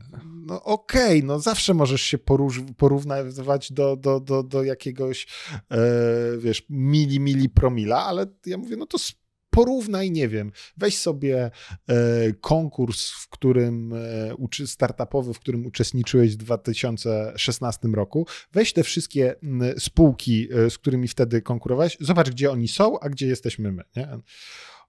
To nie o to chodzi, nie? Także Wiadomo, nie porównujesz się nigdy z tymi, co... No, tak, do, to jest nieważne. Tylko... Nie, to, tylko, tylko do tych... A zawsze ktoś jest dalej, zawsze ktoś jest... Liderów, nie? I te, teraz, te, teraz się też tak troszeczkę podzieliliśmy, że, że ja sobie robię, bardziej się skupiam na tym rozwoju tego stabilnego biznesu i, i, i tym pozytywistycznym, nazwijmy to, yy, zarabianiu, a on kolejny pomysł na zbawienie świata, także, także sobie uzupełniacie się. Bardzo, bardzo. Y, macie jakieś takie ciekawe juicy stories? Jakieś ciekawe historie, które się wydarzyły albo coś? Wiesz co, nie. Nie wydaje mi się, że, to, że takie jakieś konkretne e, sytuacje. Mamy naprawdę yin i yang, nie? To, to zupełnie inne... E... Nie, nawet nie, nie w kontekście was dwóch, nie? Tylko w kontekście, w kontekście firmy są jakieś takie momenty? Wiesz, jest wiele trudnych momentów, nie? Jest, jest e, w, w rozwoju firmy to oczywiście widzisz tylko ten które te momenty, które były naj, najtrudniejsze? Z mojej perspektywy e, trudne były momenty w momencie, kiedy mm, rozstawaliśmy się z różnymi zespołami, e, osobami takimi kluczowymi w zespole i one czasami po prostu nie wytrzymywały tempa, nie? Bo, bo jak nie mieliśmy finansowania, byliśmy bootstrapowani, no to to się troszeczkę jedzie na, wiesz, na ten 120-130% y, mm. tego, co maszyna dała i czasem maszyna już po prostu nie daje rady możliwości i, i e, rozstaliśmy się z kilkoma osobami chociażby przed rundą, bo jak jest ciężko z kasą i jest ciężko z, ze wszystkim, to jest ciężko zasadniczo. Natomiast po pozyskaniu finansowania, dlatego tak powiedziałem, że to jedna umiejętność to jest pozyskanie finansowania, ale druga umiejętność to jest e, wydatkowanie tego e, finansowania. To też było bardzo wiele e, trudnych momentów, bo my stwierdziliśmy, że wiesz, zatrudnimy osoby mądrzejsze od nas, nie? czyli zatrudnimy, zatrudniliśmy CTO, Chief of Product, CMO, Chief of Sales, jeszcze nawet wzięliśmy osobę specjalnie od HR-u, żeby ich ich, te, te, osoby zrekrutować, bo agencje z Chief of e, Head of People to była trochę inna sytuacja, bo z Head of People to wzięliśmy go, bo mogliśmy wziąć y, zewnętrznego rekrutera albo po prostu osobę na pokład, nie? E, no ale teraz z tych C-level, CTO, CMO, Chief of Sales, Chief of Product nikogo nie ma, nie? Czyli my wzięliśmy e, hmm. finansowanie, zatrudniliśmy niby mądrzejszych ludzi, natomiast w każdym przypadku z innych zupełnie przyczyn, z innych e, elementów. Wspaniali ludzie, nie? To, żeby, żeby była jasność. E, kompetentni ludzie. E, ludzie, którym się chciało, ale pewna chemia i pewne podejście i pewne zrozumienie konkretnych faktów było zupełnie inne i czasami z naszej inicjatywy, czasami z ich inicjatywy po prostu, wiesz, nie, nie, nie zagrała chemia. E, i e, może jeszcze dorośniemy do, do zatrudnienia takich C-level z weźmiemy kogoś z firmy, która jest, wiesz, dalek, który przeżył tą drogę, którą my chcielibyśmy przeżyć i, i e, zaprosimy go na, pokład. E, natomiast tak jak mówię, no wiesz, dołącza do kluczowego teamu, takiego by menedżerskiego pięć osób, a po roku z tych pięciu osób no, nie, nie, nie zostaje nikt, nie? Czy tam cztery osoby i nie, nie zostaje nikt. Także e, no tam wiesz, konkursy startupowe i w ogóle to się w mediach widać tylko, tylko sukcesy, ale na co dzień jest wiele takich trudnych, trudnych, ciężkich sytuacji, nie? Czy, czy, czy wiesz, czern klientów, czy problemy technologiczne, czy pewne wypalenie osób, to, to, to na co dzień jest, nie, jest łatwo. No nie jest łatwo, nie jest łatwo. A powiedz mi jeszcze, e, już taki ostatni temat chciałbym poruszyć, czyli temat e, pricingu, ustalania cen. Mhm. I mam tu właśnie pytanie też ze społeczności. Bo ja tak się roz... Ty chciałeś 10 krótkich pytań, a ja na pierwsze pytanie godzina wypowiedzi, nie, na nie, drugie spokojnie. dwie godziny. 10 krótkich pytań to będzie, to będzie inna seria, to będą takie wywiady tekstowe, mhm. każdy będzie na te same pytania To prześlij mi, ja się zmieszczę w 140 dobra, dobra. znakach na każdym. Ale, ale miałem, miałem takie pytanie, kiedy ostatni raz podnosiliście ceny i czy utrzymaliście starych klientów na starych cenach? E, zawsze jak podnosiliśmy ceny, utrzymywaliśmy starych klientów na starych, cen, e, starych cenach. Czyli robicie tak, tak, jak nie powinno się robić w to sasach. Robiliśmy tak, robimy tak, jak się nie powinno. My bardzo wiele rzeczy zrobiliśmy tak, jak się nie powinno robić w sasach. To uwierz mi. To, ta, ta empatia, wiesz, to nie, to, to zrobi, do zrobiliśmy za 59 zł. Tak, są klienci, którzy płacą 19 dolarów na limicie do 100 tysięcy kontaktów i płacą po dziś dzień, jeszcze to są takie multi-domains. I to nie z e, Nie, i to nie, nie, w ogóle nie weszliśmy w Absumo. My akurat e, Absumo nas chciało bardzo, natomiast e, nie poszliśmy mhm. do, do, do Absumo. Nim, też pricing, e, o którym mówiliśmy, e, na którym mieliśmy w momencie wchodzenia w AppSumo, my za dużo dawaliśmy w wersji freemium i jakbyśmy mm -hmm. dawa, dawali jakiś pakiet płatny na AppSumo, to, to się w ogóle nie spinało, nie? A to może teraz wrócimy na AppSumo z jakimś, jak teraz pricing schowaliśmy. E, no, ostatnie podniesienie cen to, to, to, to, schowanie tego pricingu obecnie e, to jest, e, mm, to jest znaczące podniesienie cen, czyli tak naprawdę ofertowaliśmy na 249 dolarów. Teraz raczej nie stara, staramy się w ogóle tej ceny nie pokazywać, bardziej mówić, że słuchaj, no w tej cenie to masz taki self-service, nie? W sensie, no to, to okej. Okay podepnij kartę i będziesz sobie korzystał. Natomiast no, jak chcesz y, skutecznie wdrożyć y, marketing automation, czy skutecznie wdrożyć CDP, no to, to będziesz miał ofertę enterprise. Jasne. A jak chcesz y, z ofertą enterprise, to siądźmy do stołu i zrozummy, co jest ci potrzebne, bo czasem to będzie, wiesz, limit apikoli per sekunda, czasem to będzie, wiesz, szybkość wysyłki, czasem to będzie e, wielkość bazy danych, e, czasem to będą jakieś, nie wiem, konkretne rekomendacje produktowe zawężone do konkretnych rzeczy, także zrozummy twój problem, my skonfigurujemy wtedy ofertę y, bardziej y, dopasowaną do, do, do, do Twoich potrzeb, która będzie się składać, wiesz, z elementu licencyjnego, z, elementu zużycia i elementu tego osobowego, czyli naszego wsparcia, nie? Ale to teraz podnieśliśmy tą, tą cenę sprzedaż na SQL-ach wcale nie spadła, ale też zmieniliśmy naszą ofertę w rozumieniu takim, że nie sprzedajemy tylko softu, tylko e, jak już próbowałeś sobie z jednym rozwiązaniem, próbowałeś sobie z drugim rozwiązaniem, to ci się nie udało, tam się nie udało, to chodź przyjdź do nas, siądźmy do stołu, weźmy wdrożeniowca, E, rozpiszmy sobie scenariusze, które chcesz zrobić. Mm. Zróbmy porządek w końcu w, ty, w tych. E, teraz przenosimy jednego e, klienta, może nie będę wymieniał z nazwy, ale też znany polski, polski SaaS przechodzi do nas z HubSpota. Wcześniej miał kombinację HubSpot Intercom, a teraz przechodzi z HubSpota do nas. No i on, wiesz, jak na początku siedliśmy do stołu, no to E, no dobra, 50 tysięcy kontaktów, nie? No, no dobra, a ile on, faktycznie wszystkich chcesz wrzucić, nie?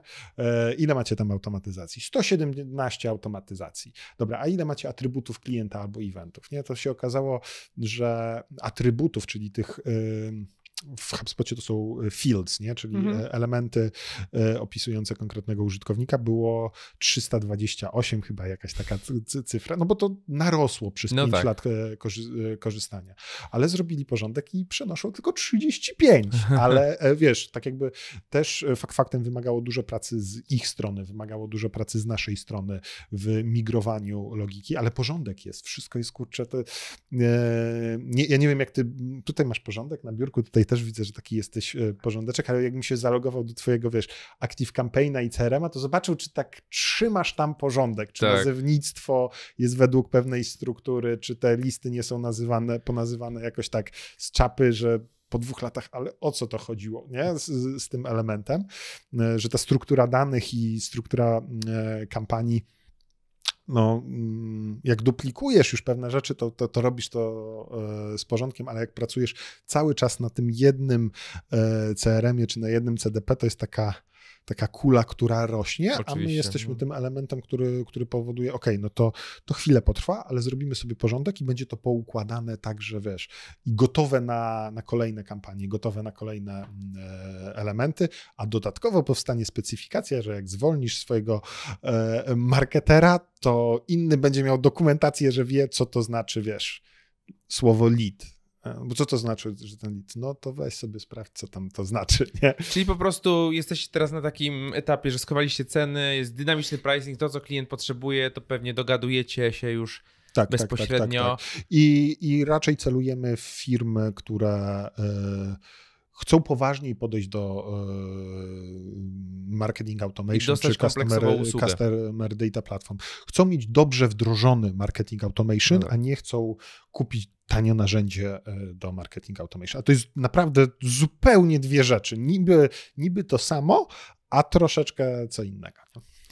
Dobra, zbliżając się już tak ku końcowi. No właśnie, nie wiem, która godzina, ale mi... na pewno prze, prze, przegiąłem z po, Nie, spokojnie, spokojnie. To, to, tylko jeszcze powiem, że e, w kontekście tego, co mówiłeś o ukrywaniu pricingu, to mieliśmy taki bardzo dobry e, podcast z Maciejem Krausem, E, który zajmuje się zawodowo pricingiem, jest też partnerem w, w jednym z funduszy.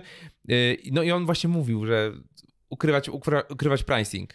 Czy coś, to, to, nie działa pewnie w tych małych sasach, gdzie... Zupełnie nie działa. W, zależy jaki masz price point, tak. nie? To, to, to bez sensu, jeżeli y, masz price point na poziomie, nie wiem, 9-19 dolarów, no bo ty nie możesz być y, wtedy takim... Y, tam sprzedaż musi lecieć automatem. Tak, to, to, tak, nie tak, może tak. być wspierane przez osoby.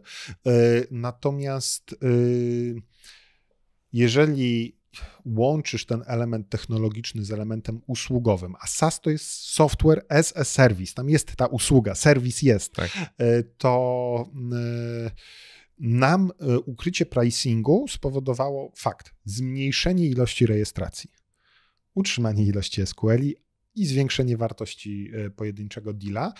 I na, wydaje mi się, że tych klientów mamy takich takich chyba, z którymi nam się fajniej pracuje, nie? Takich już, no którzy tak. są zdeterminowani, którzy wiedzą.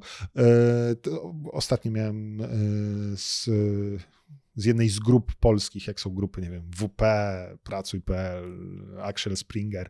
W Polsce to jedną z takich spółek z, z tej grupy rozmowa. I ja mówię, że słuchaj, no my mamy nadal ten pricing y, taki self-service, nie? No tam wiesz, jak wejdziesz tu, to możesz podpiąć mm. kartę, ale ja y, no, naprawdę ja bym chciał ci zaofertować ten enterprise. To mocno się zdziwiłem, bo klient rozumiał, dlaczego ja nie mogę mu, za, znaczy, dlaczego ja chcę mu sprzedać ofertę za tam 1500 dolarów, a nie za 249 dolarów. Bo ja jak mu sprzedam za ten 1500 dolarów miesięcznie, to ja będę mógł wydelegować zespół, który przypilnuje, że ta technologia będzie wdrażana poprawnie. I e, wbrew pozorom, klienci to rozumieją, że yy, tak, my chcemy, nie? Tylko za, za 2-3 miesiące, bo teraz to tak naprawdę jesteśmy na launchu i mamy za dużo, wiesz, potrzeb wewnętrznych związanych z produktem, e, niż że możemy podejść do, do wdrożenia e, marketing automation czy customer data platform. I mm, klienci rozumieją, że za dobre wdrożenia trzeba płacić i chcą nawet to płacić, bo to, to, to rynek doszedł już do tego poziomu, że e, no nie technologia jest e, tym lewarem, który, który, znaczy na pewno, wiesz, przy dużych, dużych danych to ta technologia ma bardzo duże mhm. znaczenie, nie? Czy, czy, czy po prostu tam się klient, soft nie wysypie, jak e, się rypnie ośmioma milionami API requestów w jakimś krótkim, w mhm. krótkim czasie. E, natomiast no, klienci doceniają dobrze wdrożone. Także ja wolę e, uderzać do klienta, który już się sparzył na marketing automation. To jest taki, taki mój sweet spot w tym momencie. Nie, że on, dobra, to ja teraz chcę wszystko zautomatyzować, bo też zauważyliśmy, taki trend, że mm, e, u klientów na samym początku, przez wiele, długi, długi czas, naszymi klientami były startupy, czy takie spółki na początkowym etapie e, rozwoju. Mm, I one trochę mm, w naszym narzędziu upatrywały po swoje niepowodzenia w rozumieniu, no kurczę, kupiłem soft do marketingu, a mi nie działa marketing, nie? To, to, to nie na tej samej, mm -hmm, nie na tej zasadzie mm -hmm. działa, nie? Jak, nie wiem, jak e, z tą analogią młotka i, i obrazka na ścianie, nie? To... Yy, nie win młotka, że źle Nie, nie win młotka, że masz, nie wiem, bajzel w pokoju albo brzydko wykończoną kuchnię. To, to nie młotka wina, nie? Yy, no, także, także, także w, to, w tą stronę uderzamy. Z czego się dzisiaj uczysz w kontekście prowadzenia biznesu, e, SaaSów, nie wiem, jakie książki czytasz, czy coś polecisz, może jakieś podcasty, artykuły? Książki, y, książki, które na pewno mogę polecić, y, takie w kontekście budowania e, firmy, no to jedna pozycja Multipliers. To jest książka, która mi bardzo dużo dała pod kątem e, zarządzania e, ludźmi. Chyba dwa lata temu ją przeczytałem, czy rok temu. Teraz wróciłem do Chorowica. Jeszcze raz sobie przeczytałem Hard, Hard, Things. Hard Things of Hard Path. W jakimś, w jakimś podcaście powiedziałem, że ty książki można wrócić. Wróciłem i faktycznie to jest fajne, że do, jak, jak już znasz całą historię, to konsumujesz tą książkę e, na inny sposób. Wyciągasz, mhm. wy, wyciągasz z niej e, rzeczy e, i zarówno Hard Things About Hard Things, jak, jak i ten What You Do is What You Are, też ba, bardzo fajne dwie pozycje, które jeżeli już masz przeczytane, to przeczytaj jeszcze raz, bo to, to, to, to daje dużo. Jeżeli chodzi o to, skąd się uczę, to chyba zależy od tego, e, z jakiego obszaru nie? Bo jeżeli chodzi o y, takie kwestie, nie wiem, narzędziowe i w ogóle, to po prostu kupuję kurs z tego, jak coś robić i z tego się uczę. Najzwyczajniej w świecie. Nie wiem, jak y, chciałbym nagrać kurs, to bym kupił kurs o tym, jak nagrać kurs. Jak y, chcę opanować, nie wiem, Facebook Adsy, to idę do osoby, która wiem, że robi dobrze Facebook Adsy i albo dogaduję się z nim na indywidualną konsultację i kupuję czas pracy, albo kupuję jego kurs, gdzie dosta do, do, do, dostaję tą wiedzę, także tych specjalizacji jest e, bardzo, bardzo dużo, natomiast to, co mnie e, tak naprawdę rozwija, e, to jest rozmowa z mądrzejszymi ludźmi. Wiesz? I tutaj mamy zarówno wsparcie ze strony mm, mm, inwestora i spółek z grupy, czyli z osobami, nie wiem, z odpowiedzialnymi za marketing, mm. w inny, ale w innych grupach, spotykamy się i rozmawiamy, e, jak i e, nawet płatne konsultacje z, z poszczególnymi e, osobami. Takie wiesz, spotkasz się i tak jak mi się wydawało, że wiesz, że no jak ja mogę zapłacić komuś za, nie wiem, 5 stów za, za godzinę jego czasu.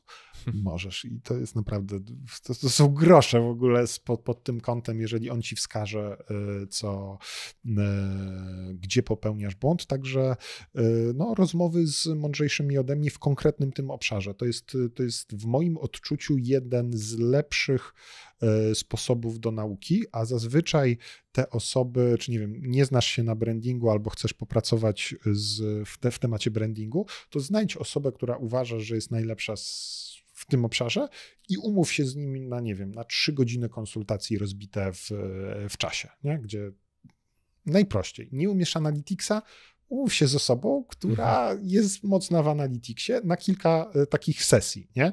E, gdzie odrobisz pracę domową. Nie umiesz SEO, to wiesz, umów się z osobą, która to umie, e, która ci, wiesz, powie na czym się skupić i co, oceni, co robisz. Mhm. E, i, I, ja mam o tyle komfort, że mam po prostu też takich e, sieć osób, z którymi mogę sobie spokojnie e, na takie, takie kole umawiać e, się i, i, ja im coś podpowiem, oni mi coś podpowiedzą i to, to, to jest w moim odczuciu e, najbardziej efektywna forma mm, nauki i rozwoju, oprócz oczywiście czytania, słuchania książek i, i różnego rodzaju podcastów. Jedna rada dla początkujących founderów którzy, którzy nas dzisiaj słuchają, rada od doświadczonego kolegi. Ja to nie jestem doświadczony. No pytamy no eksperta, no teraz tak, tak. widzisz, Ekspert. stosując się do twojej, do twojej rady, już może to nie będzie godzinna czy trzygodzinna konsultacja rozbita na, na kilka sesji, coś takiego, co.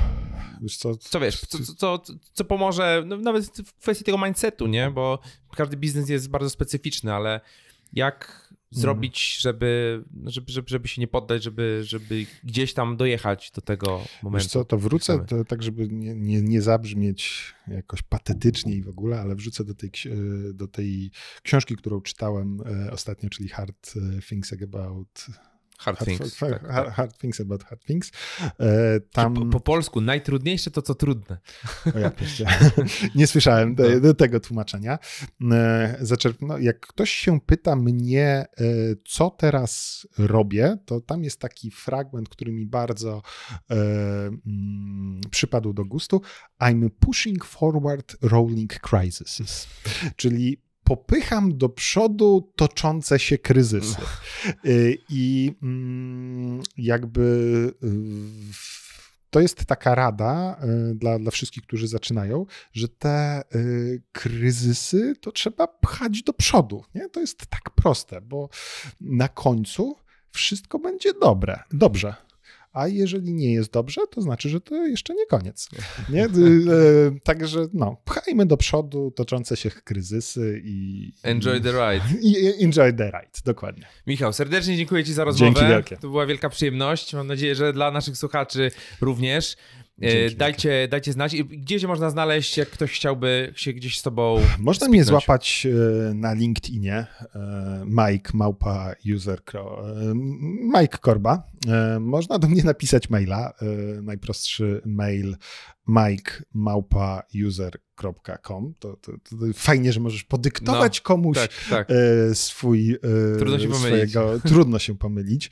E, a jakby ktoś chciał e, pogadać, nie wiem, o najprawdopodobniej wdrożeniu kwestii związanych z marketing automation, to teraz nawet mam swój kalendarz, taki, a, że mogę podyktować. Publiczny. ale nie, taki, że mogę publiczny, ale pod, okay. pod, podyktować. link.user.com slash Mike i tam będzie mój kalendarz, także można się e, wbić. Z, wbić. ze mną, pogadać, chociaż nie wiem, zaraz mi kurczę jeszcze. Ty to masz zasięgi, zaraz mi zaspamują e, kalendarz, e, ale e, nie, najłatwiej na maila. Na, na maila, na LinkedInie, jak, jak, jak e, mogę ci jakoś pomóc, to, to ja jestem mocnym zwolennikiem pay, with, pay it forward, także to z chęcią ci pomagam. Dzięki jeszcze raz za Dzięki rozmowę. Wielkie. Do usłyszenia. Do usłyszenia.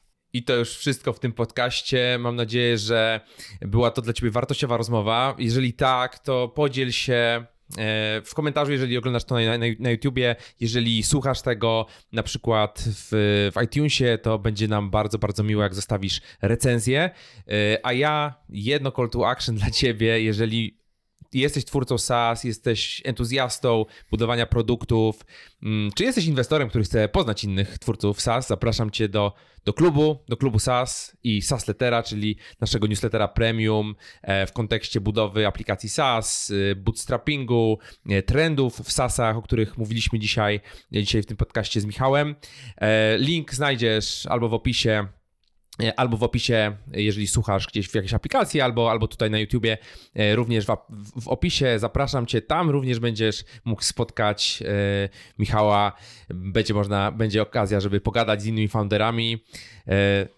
To tyle na dzisiaj. Dzięki, dzięki za wszystko. Do usłyszenia w kolejnym odcinku.